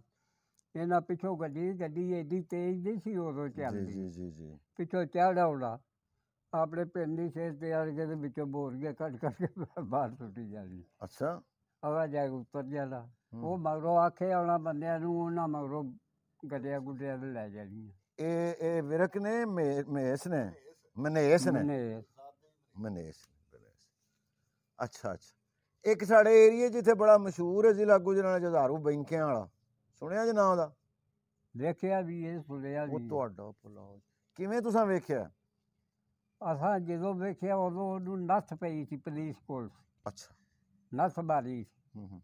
ਤੇ ਆ ਮੇਲਿਆਂ ਮਸਾਜਿਆਂ ਦੀ ਏਡੀ ਇਸ ਤਰ੍ਹਾਂ ਵੇਖਿਆ ਸੀ ਇਹ ਛੇਦੇ ਕਿਤੇ ਜ਼ਿਆਦਾ ਹੂੰ। ਤੇ ਵੱਡੇ ਮੇਲੇ ਜਿਹੜੇ ਲੱਗਦੇ ਵਿਸਾਖੀ ਲੱਗਣੀ ਜਾਂ ਹੋਰ ਮੰਡੀ ਲੱਗਣੀ ਹੂੰ। ਉੱਥੇ ਪੁਲਿਸ ਫੜਿਆ ਸੀ ਲੈ ਜਾਂਦੇ ਸਨ। ਅੱਛਾ। ਲੋਕਾਂ ਨੂੰ ਵਿਖਾਉਂਦੇ ਸਨ। ਨਾਚੋ ਬੱਚਿਆਂ ਦੇ ਹਜ਼ਾਰਾਂ ਅੱਛਾ, ਹਜ਼ਾਰਾਂ ਅੱਛਾ। ਤੇ। ਅੱਛਾ। ਪੂਰੇ ਜਿਹਾ ਕਰਦਾ ਸੀ ਕੋਈ ਐਡਾ ਕੋਈ ਜਵਾਨ ਜੂਨ ਨਹੀਂ ਸੀ ਪੂਰੇ ਜਿਹਾ ਕਰਦਾ ਸੀ। ਅੱਛਾ। ਤੇ ਉਹ ਜੋ ਦਰੇਸ ਸੀ ਜਿਹੜੇ ਵੀ ਲੋਕਾਂ ਕੋਲ ਡਗਣ ਪਛਾ ਲੈ ਜਾਂਦਾ। ਲੈ ਜਾਂਦਾ ਸੀ। ਮੁੱਲ ਕਰਕੇ ਲੈ ਜਾਣਾ ਅੱਛਾ। ਢੱਗੇ ਕਿਸੇ ਚੰਗੇ ਵੇਖ ਲਈ ਘੋੜੀ ਵੇਖ ਲਈ ਗੱਲ ਕਰ ਵਕੀਲ ਲੈ ਲੈ ਹੂੰ ਹੂੰ। ਉਹ ਕਿਸੇ ਦੇ ਆਖਣਾ ਵੀ ਆ ਕੁਛ ਲੈ ਜਾ ਚੱਲ ਫਿਰ ਬੈਂਕਿਆਂ ਤੋਂ ਆਣ ਕੇ ਪੈਸੇ ਲੈ ਆ। ਅੱਛਾ। ਉਹ ਖੋਲ ਲਈ ਅੱਲਾ ਬੇਦੀ ਨਾ ਕਿ ਇਹਨੂੰ ਦੇ ਦੇ। ਇਹੋ ਜਿਹਾ ਕੰਮ ਤਾਂ ਲੋਕ। ਬਜ਼ੁਰਗੋ ਪਾਕਿਸਤਾਨ ਬਣਨ ਤੋਂ ਪਹਿਲਾਂ ਤੁਹਾਡੇ ਇਸ ਪਿੰਡ 'ਚ ਜਿਹੜੀ ਵਾਈ ਹੁੰਦੀ ਸੀ ਹੂੰ? ਵਾਈ ਜਿਹੜੀ ਹੁੰਦੀ ਸੀ ਹਾਂ। ਉਹਦੇ 'ਚ ਪਾਣੀ ਜਿਹੜਾ ਪੈਲੀਆਂ ਨੂੰ ਲੱਗਦਾ ਸੀ ਹਾਂ। ਉਹ ਨਹਿਰ ਦਾ ਸੀ ਜਾਂ ਖੂਹਾਂ ਦਾ ਸੀ? ਮਤਲਬ ਅੱਜ ਕੱਲ ਨਹਿਰ ਦਾ ਆਉਂਦਾ ਸੀ। ਅੱਛਾ ਜੀ। ਤੇ ਅਗਾ ਫਿਰ ਮਿਸਾਲ ਖੂਹਾਂ ਮੈਂ ਖੂਹ ਦੋ ਤਰ੍ਹਾਂ ਹੈ ਸਰ ਕੀ ਨਾਂ ਸਨ? ਹੂੰ? ਖੂਹਾਂ ਦੇ ਨਾਂ ਕੀ ਸਨ? ਇੱਕ ਤੇ ਇਹਨੂੰ ਆਨੇ ਹਾਂ ਅੰਦਰ ਵਾਲਾ ਖੂਹ ਪਿੰਡ ਦੇ ਵਿੱਚ ਸੀ। ਜੀ ਠੀਕ। ਇਸ ਪਾਸੇ ਬਾਹਰ ਵੇਲੀ ਜਲ ਜੀ ਠੀਕ ਜੀ ਠੀਕ। ਪਰ ਕਮਿਆਰਾ ਦਾ ਖੂਹ ਸੀ ਉਹਨੂੰ ਨਵਾਂ ਖੂਹ ਆਂਦੇ ਸਨ ਅੱਛਾ ਜੀ। ਇੱਧਰ ਸਾਂਝਾ ਪ- ਖੂਹ ਸੀ ਮਿਸਾਲੇ ਉਹਦਾ ਦਾ ਸਿੱਖਾਂ ਦਾ ਵੀ ਤੇ ਇਹਨਾਂ ਜੱਟਾਂ ਦਾ ਵੀ ਸਾਂਝਾ ਸੀ। ਜੀ। ਬੋੜ ਵਾਲਾ ਉਹਨੂੰ ਆਂਦੇ ਸਨ। ਅੱਛਾ ਅੱਛਾ ਅੱਛਾ। ਇੱਕ ਲੱਗਾ ਸੀ ਉਹਨੂੰ ਕਲਰ ਵਾਲਾ ਖੂਹ ਆਂਦੇ ਸਨ। ਹੂੰ ਹੂੰ ਹੂੰ। ਤੇ ਇੱਕ ਹੋਰ ਨਵਾਂ ਜੇ ਲੱਗਾ ਸੀ ਉਹ ਵੀ ਨਵਾਂ ਹੀ ਖੂਹ ਸੀ ਉਹ ਕੋਲੋਂ ਕੋਲੀ ਸਨ ਦੋ ਖੂਹ। ਇਸ ਤਰ੍ਹਾਂ ਤਰੇ ਚਾਰ ਖੂਹ ਸਨ। ਅੱਛਾ ਅੱਛਾ। ਉਹਨਾਂ ਖੂਹਾਂ ਦੇ ਲੋਕੀ ਥੋੜਾ ਬੜਾ ਫਸਲ ਜਿਹੜਾ ਪਿਆਉਂਦੇ ਸਨ। ਉਦੋਂ ਜਦੋਂ ਫਸਲ ਆਪਣੀ ਲੈ ਕੇ ਮੰਡੀਆਂ 'ਚ ਜਾਂਦੇ ਸਨ ਤੇ ਤੁਹਾਨੂੰ ਨੇੜੇ ਮੰਡੀ ਕਿਹੜੀ ਲੱਗਦੀ ਸੀ? ਕੰਮ ਹੋ ਗਏ। ਤੁਸੀਂ ਕਦੀ ਗਏ ਸੋ ਆਪਣੇ ਬਜ਼ੁਰਗਾਂ ਨਾਲ? ਬਸ ਬਸ ਅਸੀਂ ਦਾਣੇ ਦੂਣੇ ਲੈ ਕੇ ਤੇ ਉਸ ਉੱਪਰ ਤੇ ਨਹੀਂ ਨਹੀਂ ਗਏ। ਉਹ ਜੀ ਸ਼ਾਇਦ ਕਦੀ ਨਾ ਕਦੀ ਜਾਂਦੇ। ਰਹੇ ਹੋ? ਹਾਂ। ਕਾਮੋਂ ਕੀ? ਹਾਂ। ਉਦੋਂ ਕਿੱਡਾ ਕੁ ਸੀ ਕਾਮੋਂ? ਹੂੰ? ਕਾਮੋਂ ਕੀ ਦੀ ਕਿੰਨੀ ਕੁ ਆਬਾਦੀ ਸੀ ਉਦੋਂ? ਥੋੜੀ ਜਿਹੀ ਸੀ। ਅੱਛਾ। ਕੁਛ ਵੀ ਨਹੀਂ ਸੀ ਆਬਾਦੀ। ਮਤਲਬ ਇਹ ਗੱਡੀ ਦੀ ਲੈਣ ਇਹ ਤੋਂ ਅੰਦਰ ਸੀ। ਅੱਛਾ ਜੀ। ਸ਼ਹਿਰ ਹੂੰ। ਬਾਹਰ ਕੋਈ ਨਹੀਂ ਸੀ। ਹੂੰ, ਹੂੰ। ਉਹ ਤੋਂ ਸੁਬਾ ਲੱਗਦਾ ਸੀ ਜਿਹੜਾ ਪਤਾ ਤੋਲੇ ਕਰ ਜਦੋਂ ਸੁਬੇ ਉਹ ਅੰਦਰ ਸੀ ਪੂਰਾ ਹੀ। ਉਹ ਰਹੇ ਐਵੇਂ ਪੂਰੀ ਜੀ ਆਬਾਦੀ ਸੀ। ਜੀ ਜੀ ਜੀ। ਵਿੱਚ ਵਿੱਚ ਹੀ। ਵਿੱਚ ਵਿੱਚ। ਇਹ ਮੰਡੀ ਸਾਡੇ ਵੇਖਣ ਜੇ ਕਿਸਮ ਦੀ ਹੋ ਗਿਆ ਮੰਡੀ ਢਾਈ ਤਿੰਨ ਤਿੰਨ ਤਿੰਨ ਚਾਰ ਰੁਪਏ ਮਰਲਾ ਇਹ ਵਿਕਿਆ ਥਾ ਜਿੱਥੇ ਦਾਣਾ ਮੰਡੀ। ਜੀ ਪਾਕਿਸਤਾਨ ਬਣਨ ਤੋਂ ਪਹਿਲਾਂ ਹਾਂ। ਆਪਣੇ ਪਿੰਡ 'ਚ ਕੋਈ ਵਿਆਹ ਸ਼ਾਦੀ ਵੇਖੀ ਤੁਸੀਂ ਸਿੱਖਾਂ ਦੀ? ਹਾਂ ਵੇਲੇ ਵੇਖੀ? ਹਾਂ। ਕੀ ਕੀ ਕੀ- ਕੀ ਹੁੰਦਾ ਸੀ ਉੱਥੇ? ਸਾਡੇ ਤੇ ਇੱਥੇ ਮਤਬਲੇ ਅਸਲ ਵਿਆਹ ਜਿਹੜੇ ਹੁੰਦੇ ਨੇ ਹਲਦਾ ਪੈਦਾ ਜੀ। ਸਲੂਕ ਸੀ ਸਾਰਿਆਂ ਦਾ। ਜੀ ਜੀ। ਜੱਟ ਕੀ ਤੇ ਕਮਿਆਰ ਕੀ ਸਾਈਆਂ ਦਾ ਇੱਕ ਘਰ ਸੀ ਦੋ। ਜੀ। ਮਤਬਲੇ ਸਾਰਿਆਂ ਦੀ ਰੋਟੀ ਪਕਾਉਂਦੇ ਸਨ ਜਿਹੜਾ ਕੋਈ ਖਾਦਾ ਪੀਂਦਾ ਸੀ ਨਾ। ਜੀ ਜੀ। ਉਹ ਸਾਰਿਆਂ ਦੀ ਰੋਟੀ ਪਕਾਉਂਦਾ ਚਾਹੇ ਸਿੱਖ ਵਿਆਹ ਕਰਨ ਚਾਹੇ ਮੁਸਲਮਾਨ ਕਰਨ ਜੀਵੀਦਾਰ ਕਰਨ। ਹੂੰ ਹੂੰ। ਕਮਿਆਰ ਵੀ ਜਿਹੜੇ ਖਾਦੇ ਪੀਂਦੇ ਸਨ ਉਹ ਵੀ ਕਰਦੇ ਉਹ ਸਾਰਿਆਂ ਦੀ ਰੋਟੀ ਪਕਾਉਂਦੇ ਸਨ। ਹੂੰ ਹੂੰ ਜੱਜੇ ਜਾਣਾ ਤਾਂ ਵੀ ਸਾਰਿਆਂ ਨੂੰ ਖੜਨਾ ਅੱਛਾ। ਛੋਟਾ ਜਿਹਾ ਪਿੰਡ 16 17 ਘਰ ਸਨ ਜੀ ਸਾਰੇ। ਜੀ। ਇਹ ਜਦੋਂ ਜੰਜ ਆਉਂਦੀ ਸੀ ਹਾਂ। ਤੇ ਉਹਨੂੰ ਕੀ ਖਵਾਉਂਦੇ ਹਨ? ਬਸ ਉਦੋਂ ਆਪ ਰਵਾਜੇ ਸੀ ਚੌਲ ਖਵਾੜੇ ਜਾਂ ਗੋਸ਼ਤ ਖਵਾੜਾ ਰੋਟੀਆਂ ਖਵਾਉਣੀਆਂ ਅੱਛਾ। ਇਹੋ ਜਿਹਾ ਰਿਵਾਜ ਸੀ ਆ ਫਾਲਤੂ ਕੰਮ ਕੋਈ ਨਹੀਂ ਠੀਕ ਹੈ, ਜਿਹੜਾ ਹੋਰ ਲੋਕਾਂ ਫੜਿਆ ਕੋਈ ਨਹੀਂ ਕੋਈ ਨਹੀਂ ਸੀ। ਇਹ ਦੇਸੀ ਦੇਸੀ ਕੰਮ। ਹੂੰ। ਇਸ ਵੇਲੇ ਜੱਜ ਆਉਣੀ ਜੀ। ਰਾਤ ਰਹਿੰਦੀ ਸੀ। ਹੂੰ। ਜੱਜ ਆਉਣੀ ਤੋਂ ਉਹਨੂੰ ਆਉਂਦਿਆਂ ਅਗਲੇ ਦੁੱਧ ਪਿਆਲਾ। ਅੱਛਾ। ਨਾਲ ਲੱਡੂ ਦੇ ਦੇ ਨਾਲ ਦੁੱਧ ਪਿਆਣਾ ਹੂੰ। ਪਿਆ ਕੇ ਸਹਿਜ ਨਾਲ ਆਰਾਮ ਨਾਲ ਖਲੋ ਕੇ ਫਿਰ ਰੋਟੀ ਖਵਾਣੀ। ਗੋਸ਼ਤ ਖਵਾਣਾ ਰੋਟੀਆਂ ਖਵਾਣੀਆਂ ਚੌਲ ਖਵਾਣੇ ਬਸ। ਪੂਰਾ ਦਿਨੇ ਵੱਡੇ ਸਵੇਰੇ ਉੱਠਣਾ। ਉੱਠ ਕੇ ਫਿਰ ਲੱਸੀ ਲਟਕੀ ਹੋਣੀ ਦੁੱਧ ਨੂੰ ਇਕੱਠਾ ਕਰ ਲਈਦਾ ਫਿਰ ਆਮ ਇੰਨਾ ਇੰਨਾ ਮੱਖਣ ਦੇ ਦਾ। ਨਾਲ ਇੱਕ ਇੱਕ ਦੋ ਦੋ ਲੱਡੂ ਦੇ ਦੇ। ਤੇ ਨਾਲ ਐਡੇ ਐਡੇ ਗਲਾਸ ਹੁੰਦੇ ਹਨ ਨਾਲ ਲੱਸੀ ਜਿਹੜੀ ਜਿੰਨੀ ਕੋ ਪੀਦਾ ਇੱਕ ਪੀਦਾ ਗਲਾਸ ਦੋ ਪੀਦਾ। ਇਹ ਅੱਜ ਦੇ ਮੁੰਡੇ ਤੇ ਜਿੱਡਾ ਤੁਸੀਂ ਗਲਾਸ ਦੇਖਿਆ ਵੇਖ ਕੇ ਗੱਜ ਖਾ ਜਾਣ। ਇਹ ਅਸਾਂ ਕਿੱਥੋਂ ਪੀਣਾ। ਆ ਅੱਛਾ ਬਜ਼ੁਰਗੋ ਜਦੋਂ ਪਾਕਿਸਤਾਨ ਹਿੰਦੁਸਤਾਨ ਬਣਨ ਲੱਗਾ ਹਾਂ। 1947 ਦੀ ਤਕਸੀਮ ਦਾ ਵਕਤ ਆ ਗਿਆ। ਤੁਹਾਡੇ ਪਿੰਡ ਦੇ ਸਿੱਖ ਸਰਦਾਰ ਜਿੰਨੇ ਘਰ ਵੀ ਸਨ। ਘਰ? ਜਿੰਨੇ ਘਰ ਵੀ ਸਨ। ਆਹੋ। ਇੱਕ ਘਰ ਆਂਦੇ ਨੇ ਮਹਿਰਿਆਂ ਦਾ ਇੱਥੇ ਮੁਸਲਮਾਨ ਹੋ ਗਿਆ। ਉਹ ਉਸ ਦੌਰ 'ਚ ਹੋਇਆ। ਆਹੋ। ਉਦੋਂ ਹੋਇਆ। ਜਦੋਂ ਇਸ ਵੰਡ ਹੋਣ ਲੱਗੀ। ਤੁਰ ਗਿਆ ਜਦੋਂ ਰਹਿ ਗਈ ਬਾਈ ਸੀ ਵਿਚਾਰੀ ਦੋ ਪੁੱਤਰ ਸਾਸੂ ਸਾਡੀ ਉਮਰ ਦੇ। ਮਾਈ ਸੀ। ਉਹਦੇ ਛੋਟੇ ਛੋਟੇ ਬੇਟੇ ਸਨ। ਆ ਸਾਡੀ ਸਾਡੇ ਹਾਲੀ ਸਾਡੀ ਮਾਈ ਦਾ ਕੀ ਨਾਮ ਸੀ? ਉਹ ਇੰਦਰ ਇੰਦਰਾ ਨੂੰ ਆਂਦਾ ਉਹਦਾ ਬੰਦਾ ਕੋਈ ਨਹੀਂ ਸੀ ਨਾ। ਬੇਵਾ ਸੀ। ਬੇਵਾ। ਉਹਦੇ ਦੋ ਬੇਟੇ ਸਨ। ਦੋ ਬੇਟੇ ਤੇ ਇੱਕ ਬੱਚੀ ਸੀ। ਇੱਕ ਬੇਟੀ ਸੀ। ਉਹ ਮਾਈ ਇੱਥੇ ਰਹਿ ਗਈ। ਉਹਨੂੰ ਕਿਸੇ ਕੁਝ ਨਹੀਂ ਆਖਿਆ। ਨਾ। ਕਿਸੇ ਕੁਝ ਨਹੀਂ ਆਖਿਆ। ਨਹੀਂ। ਅੱਛਾ। ਉਹ ਰਹਿ ਗਈ ਉਹ ਸਕ ਮੈਂ ਨਹੀਂ ਕਹਿਦਾ। ਅੱਛਾ। ਇੱਕ ਉਹਦੀ ਧੀ ਵਿਆਹੀ ਸੀ। ਉਹਦਾ ਆਪਣੇ ਸਹੁਰੇ ਜੋਦਾਂ ਨਾਲ ਟੁੱਟ ਗਈ ਉਹਦੀ ਇੱਕ ਧੀ ਵਿਆਹੀ ਸੀ। ਹਾਂ। ਵੱਡੀ। ਹਾਂ। ਉਹ ਚਲੀ ਗਈ ਆਪਣੇ ਸਹੁਰਿਆਂ ਦੇ ਨਾਲ। ਹਾਂ। ਉਹਦੀ ਧੀ ਕਿੱਥੇ ਵਿਆਹੀ ਸੀ? ਐ ਚਲਾ ਨੰਗਾ ਦੇ ਕੋਈ ਕਰ ਕੀ ਪਿੰਡ ਦਾ ਨਾਂ ਨਹੀਂ ਅੱਛਾ ਅੱਛਾ ਅੱਛਾ, ਠੀਕ ਹੋ ਗਿਆ। ਉਹਦੇ ਦੋ ਬੇਟੇ ਇੱਥੇ ਰਹਿ ਗਏ ਹਾਂ। ਮੁਸਲਮਾਨ ਹੋ ਗਏ। ਹਾਂ। ਉਹ ਜਿਹੜੀ ਉਹਦੀ ਧੀ ਹੈ ਹਾਂ। ਜਾਂ ਇਹ ਬੇਟੇ ਜਿਹੜੇ ਨੇ ਜਿਹੜੇ ਉਹਦੇ ਭਾਈ ਸਨ ਇਹ ਕਦੀ ਗਏ ਨੇ ਆਪਸ 'ਚ ਮਿਲੇ ਜੁਲੇ ਨੇ? ਨਾ ਇਹ ਨਹੀਂ ਗਏ। ਨਾ ਹੁਣ- ਉੱਥੇ ਗਵਾਇਆ ਨਾ ਇਹ। ਹੁਣ ਇੱਥੇ ਹੀ ਨੇ? ਹਾਂ ਉਹਦੇ ਬ- ਬ- ਅੱਗੋਂ ਪੋਤਰੇ ਪੋਤਰੇ ਨੇ। ਪੋਤਰੇ। ਉਹ ਮੁੰਡੇ ਫੌਤ ਹੋ ਗਏ ਨੇ। ਮੁੰਡਾ ਇੱਕ ਹੈ। ਉਹ ਭਾਈ- 44 ਜਗ ਟੁੱਟ ਗਿਆ। ਤੇ ਇੱਕ ਜਿਹੜਾ ਉਹ ਵੱਡਾ ਜਿਹੜਾ ਸੀ ਉਹ ਫੌਤ ਹੋ ਗਿਆ। ਅੱਛਾ ਅੱਛਾ ਇੱਕ ਕਿੱਥੇ ਚਲਾ ਗਿਆ? ਆਹ ਤਾਂ ਮਰੀਜ਼ ਕਹਿਆ 44 ਚੱਕ ਕੇ ਹੋਇਆ। ਅੱਛਾ ਅੱਛਾ ਉਹ ਹੈ। ਹਾਂ। ਉੱਥੇ ਸਹੁਰੇ ਸਾਸੂ ਉੱਥੇ ਹੀ ਟੁੱਟ ਗਈ ਅੱਛਾ ਅੱਛਾ ਅੱਛਾ ਅੱਛਾ ਅੱਛਾ ਅੱਛਾ ਅੱਛਾ। ਤੇ ਫਿਰ ਤੁਹਾਡੇ ਪਿੰਡ ਤੇ ਕੋਈ ਹਮਲਾ ਤੇ ਨਹੀਂ ਹੋਇਆ? ਨਾ। ਕੋਈ ਆਲੇ ਦੁਆਲੇ ਕਤਲੋ ਗਾਰ ਤੇ ਨਹੀਂ ਹੋਈ? ਨਾ। ਤੁਹਾਡੇ ਆਲੇ ਦੁਆਲੇ? ਨਾ ਸਾਡੇ- ਕਾਮੋਂ ਕੀ ਆਂਦੇ ਨੇ? ਬੜੀ ਗੱਡੀ ਗੁੱਡੀ ਵੱਡੀ ਗਈ ਸੀ। ਆ ਕਾਮੋਂ ਗੱਡੀ ਇਸ ਤਰ੍ਹਾਂ ਦੀ ਗੱਡੀ ਪਿੱਛੋਂ ਕਿਤੇ ਆਈ ਸੀ। ਹੂੰ ਹੂੰ। ਆਦੇ ਇਹਦੇ ਹੱਥ ਸਵਾਰ ਤੋਂ ਲਵਾਈ। ਜੀ ਜੀ। ਬੜੀ ਮਾਲਦਾਰ ਗੱਡੀ। ਜੀ। ਉਹ ਵੱਡੀ ਚੀਜ਼ਾਂ ਦਈ ਹੈ ਜਗ੍ਹਾ ਲਈ ਹੈ ਜੀ। ਪਿੱਛੇ ਮਸਾਲੇ ਵੱਡੀ ਚੀਜ਼ਾਂ ਦੇਈ ਗਏ। ਅੱਛਾ ਅੱਛਾ ਅੱਛਾ। ਤੇ ਜਗ੍ਹਾ ਲਈ ਗਏ। ਹਾਂ ਹਾਂ। ਆਦਤ ਤੋਂ ਉਹਨਾਂ ਨੂੰ ਇਹ ਵੀ ਗੱਡੀ ਲਾਹੌਰ ਜਾਣੀ ਹੂੰ, ਹੂੰ ਹੈ। ਫਿਰ ਲਾਹੌਰ ਲੈ ਜਾਣ। 'ਚ ਕਈ ਡੱਕਦੇ ਰਹੇ ਤੇ ਉਹ ਪੈਸੇ ਪੂਸੇ ਦੇ ਲੈਂਦੇ ਤੇ ਸਾਰਾ ਗੱਲ ਕਰ ਲੈ ਇੱਥੇ ਕੰਮ ਹੋ ਗਿਆ ਜੀ, ਇੱਥੇ ਥਾਣੇਦਾਰ ਆਇਆ ਸੀ ਉਦੋਂ। ਸ਼ਾਹ ਸ਼ਾਹ। ਤੋਂ- ਦਿਲਦਾਰ ਸ਼ਾਹ। ਹਾਂ। ਹੂੰ। ਉਹ ਸਾਲ ਕੇ ਤੇ ਉਹ ਗੱਡੀ ਇੱਥੇ ਡੱਕ ਲਈ। ਹੂੰ ਹੂੰ। ਉਹਦਾ ਕਿ ਮੈਂ ਦੂਆ ਗੱਡੀ ਵੀ ਉਹਦਾ। ਉਧਰ ਨੁਕਸਾਨ ਹੋਇਆ ਸੀ ਨਾ? ਨੁਕਸਾਨ ਹਾਂ। ਆਪਦਾ ਹੀ ਮੈਂ ਆਪਣੀ ਹੱਥੀ ਆਪਣੇ ਜੀ ਨੁਕਸਾਨ ਕਰਕੇ ਆਇਆ। ਦੁੱਖ ਤੇ ਹੁੰਦਾ ਨਾ ਫਿਰ। ਹੂੰ। ਦੁੱਖ ਤੇ ਹੁੰਦਾ ਨਾ। ਦੁੱਖ। ਉਹਦਾ ਕਿ ਮੈਂ ਦੂਆ ਗੱਡੀ ਨਹੀਂ ਜਾਂਦੇ ਦੀ ਠੀਕ ਹੈ। ਇੱਥੇ ਫਿਰ ਉਹ ਡੱਕ ਲਈ ਉਹਨਾਂ ਆਖਿਆ ਤੂੰ ਆਹ ਆਪਣਾ ਇੰਜਨ ਲਾਣਾ ਲਾ ਕੇ ਨਵੇਂ ਕਰ ਲਓ ਹੂੰ। ਉਹ ਫਿਰ ਹੈ ਸਾਲ ਖਤਰੀ ਖੁਤਰੀ ਬਹੁਤੇ ਉਹ ਸੈਕਸ ਕੋਈ ਨਹੀਂ ਸੀ ਉਹਦਾ। ਖਤਰੀ। ਹੂੰ। ਤੇ ਬਿਸਤਰਿਆਂ 'ਚ ਪੈਸੇ ਸੋਨਾ ਜਿਵੇਂ ਰਜਾਈਆਂ, ਮਾਲ ਸੀ। ਮਾਲ। ਸੋਨਾ ਚਾਂਦੀ ਪੈਸੇ। ਉਹ ਬਥੇਰੀ ਗੋਲੀ ਗਾਲੀ ਚਲਾਉਂਦੇ ਰਹੇ ਪਰ ਲੋਕੀ ਲੁੱਟਣ ਵਾਲੇ ਲੁੱਟ ਮਾਰ ਵਾਲੇ ਕਦੋਂ ਖੜੋਦੇ ਉਹ ਲੋਕੀ ਕਰਦੇ ਰਹੇ ਉਹ ਗੱਡੀ ਇੱਥੇ ਵੱਡੀ ਸਾਰੇ ਫਿਰ ਜਾ ਗਿਆ ਗਾ ਸਾਡੇ ਕੰਨ ਵਾਲੇ ਪਰ ਸੁੱਟ ਸੁੱਟ ਉਹ ਵਕਤ ਯਾਦ ਆਉਂਦਾ ਹੈ, ਦੌਰ ਯਾਦ ਆਉਂਦਾ ਹੈ, ਹਾਂ। ਆਉਂਦਾ ਹੈ। ਆਉਂਦਾ ਵਾਹ ਜੀ। ਤੇ ਜਿਹੜਾ ਸਭ ਤੋਂ ਚੋਖਾ ਯਾਦ ਆਉਂਦਾ ਮੁੰਡਿਆਂ ਚੋਂ ਵੱਡਿਆਂ ਚੋਂ ਉਹ ਕੌਣ ਹੈ ਸਾਡੇ ਇੱਥੋਂ ਦਾ ਆ ਤੁਹਾਡੇ ਆਣਦਿਆਂ ਚੋਂ ਤੇ ਤੁਹਾਡੇ ਅੱਬਿਆਂ ਦੇ ਉਹ ਆਣ ਹਾਂ ਤੇ ਤੈਨੂੰ ਦੱਸਿਆ ਨਾ ਕਿ ਤੇਰਾ ਚੱਲ ਮੁੰਡੇ ਜੀ, ਜੀ। ਕਦੀ ਕਦੀ ਯਾਦ ਆਉਂਦੇ ਨੇ? ਆਉਂਦੇ ਹਰ ਮੌਕੇ ਮਸਾਲੇ ਯਾਦ ਨੂੰ ਯਾਦ ਹੀ ਰਹਿੰਦੇ ਨੇ। ਅੱਛਾ ਜੀ। ਜਿਹੜੇ ਵੇਖੇ ਨੂੰ ਇੰਜੀ ਦੇ ਜਿਵੇਂ ਅੱਗੇ ਹੁੰਦੇ ਨੇ ਹੁਣ ਤੇ ਪਤਾ ਨਹੀਂ ਹੈ ਨਹੀਂ ਕਿ ਨਹੀਂ ਜਾਂ ਕਿੱਥੇ ਨੇ। ਅੱਛਾ ਅੱਛਾ ਅੱਛਾ ਹਾਂ ਕਿਹੜੇ ਭੋਗ ਵੇਖੇ ਨੇ। ਪਰ ਜਿਵੇਂ ਜਿਵੇਂ ਹਾਲਾਤ ਇੱਥੇ ਉਹਨਾਂ ਨਾਲ ਹੋਏ ਗਏ ਫਿਰ ਉਹ ਪਰਤ ਕੇ ਨਹੀਂ ਉਹ ਨਹੀਂ ਆਏ। ਅੱਛਾ। ਨਹੀਂ। ਤੇ ਬਜ਼ੁਰਗੋ ਕੋਈ ਉਹ ਜਿਹੜੇ ਤੁਹਾਡੇ ਯਾਰ ਜੇ ਜਿਉਂਦੇ ਹੋਣ ਹਾਂ। ਤੇ ਉਹਨਾਂ ਨੂੰ ਕੋਈ ਦੱਸੋ ਵੀ ਮੰਮੀ ਜਿਉਂਦਾ ਤੇ ਯਾਰ ਕਦੀ ਆਓ। ਮਾਂ ਉਹ ਖੁਰ ਕਿੱਥੇ ਆਂਦੇ ਕਿਸੇ ਇਹ ਸੁਣ ਲੈਣਗੇ। ਇਹ। ਗੱਲ ਉਹਨਾਂ ਤੱਕ ਰਪੜ ਜਾਣੀ ਹੈ। ਆ ਤੁਸੀਂ ਇਹ ਗੱਲ ਕਰੋ ਕਿ ਆਓ ਯਾਰ। ਨਾ ਤੁਹਾਨੂੰ ਦੱਸਿਆ ਲੱਗੇ ਜਿਹੜਾ ਦੋ ਘਰ ਸਨ ਭੱਜ ਬਿਆਂਦੇ ਜੀ ਜੀ। ਕਪੂਰ ਸਿੰਘ ਜਿਹੜਾ ਸੀ ਉਹਦੇ ਯਾਦ ਸੀ ਵੇਖਿਆ ਸੀ ਯਾਦ ਵੀ ਆਈ ਸੀ। ਉਹ ਤੇ ਮਰ ਗਿਆ ਉੱਤਰ ਜਾ ਕੇ। ਹਾਂ। ਉਹਦਾ ਦੇ ਅੱਗੋਂ ਆਦੇ ਨਹੀਂ ਕੋਈ ਪੁੱਤਰ ਸੀ ਉੱਥੇ। ਚੀਮਾ ਸਾਹਿਬ ਮਿਲੇ ਹੋਣਗੇ? ਆਹੋ ਇਹ ਮਿਲ ਕੇ ਆਏ ਹਾਂ। ਨੇ ਇਹ ਉਸੇ ਕੋਲ ਆਦਾ ਨਹੀਂ ਦੱਸ ਯਾਰੇ ਸੀ ਭੇਜਣ ਚ ਰਹਿ ਕੇ ਹਾਂ ਆਇਆ। ਹਾਂ, ਹਾਂ ਇਹ ਸਾਨੂੰ ਤੇ ਪਤਾ ਨਹੀਂ ਲੱਗਾ। ਅੱਛਾ ਅੱਛਾ। ਸੁਣਿਆ ਹੈ ਸੀ ਵੀ ਗਿਆ। ਤੁਹਾਨੂੰ ਯਾਦ ਆਉਂਦਾ ਵੇਲਾ? ਹਾਂ। ਤੇ ਤੁਸੀਂ ਚਾਹੁੰਦੇ ਵੀ ਆ- ਆ- ਅਸੀਂ ਇੱਥੇ ਮਸਾਲੇ ਰਿਸ਼ੀ ਟਾਗਾ ਬਣਾਏ ਆ ਸੀ ਉਸ ਅੱਛਾ। ਰੱਬਰ ਦੇ। ਹੂੰ। ਰੱਖਦਾ ਸੀ। ਹੂੰ।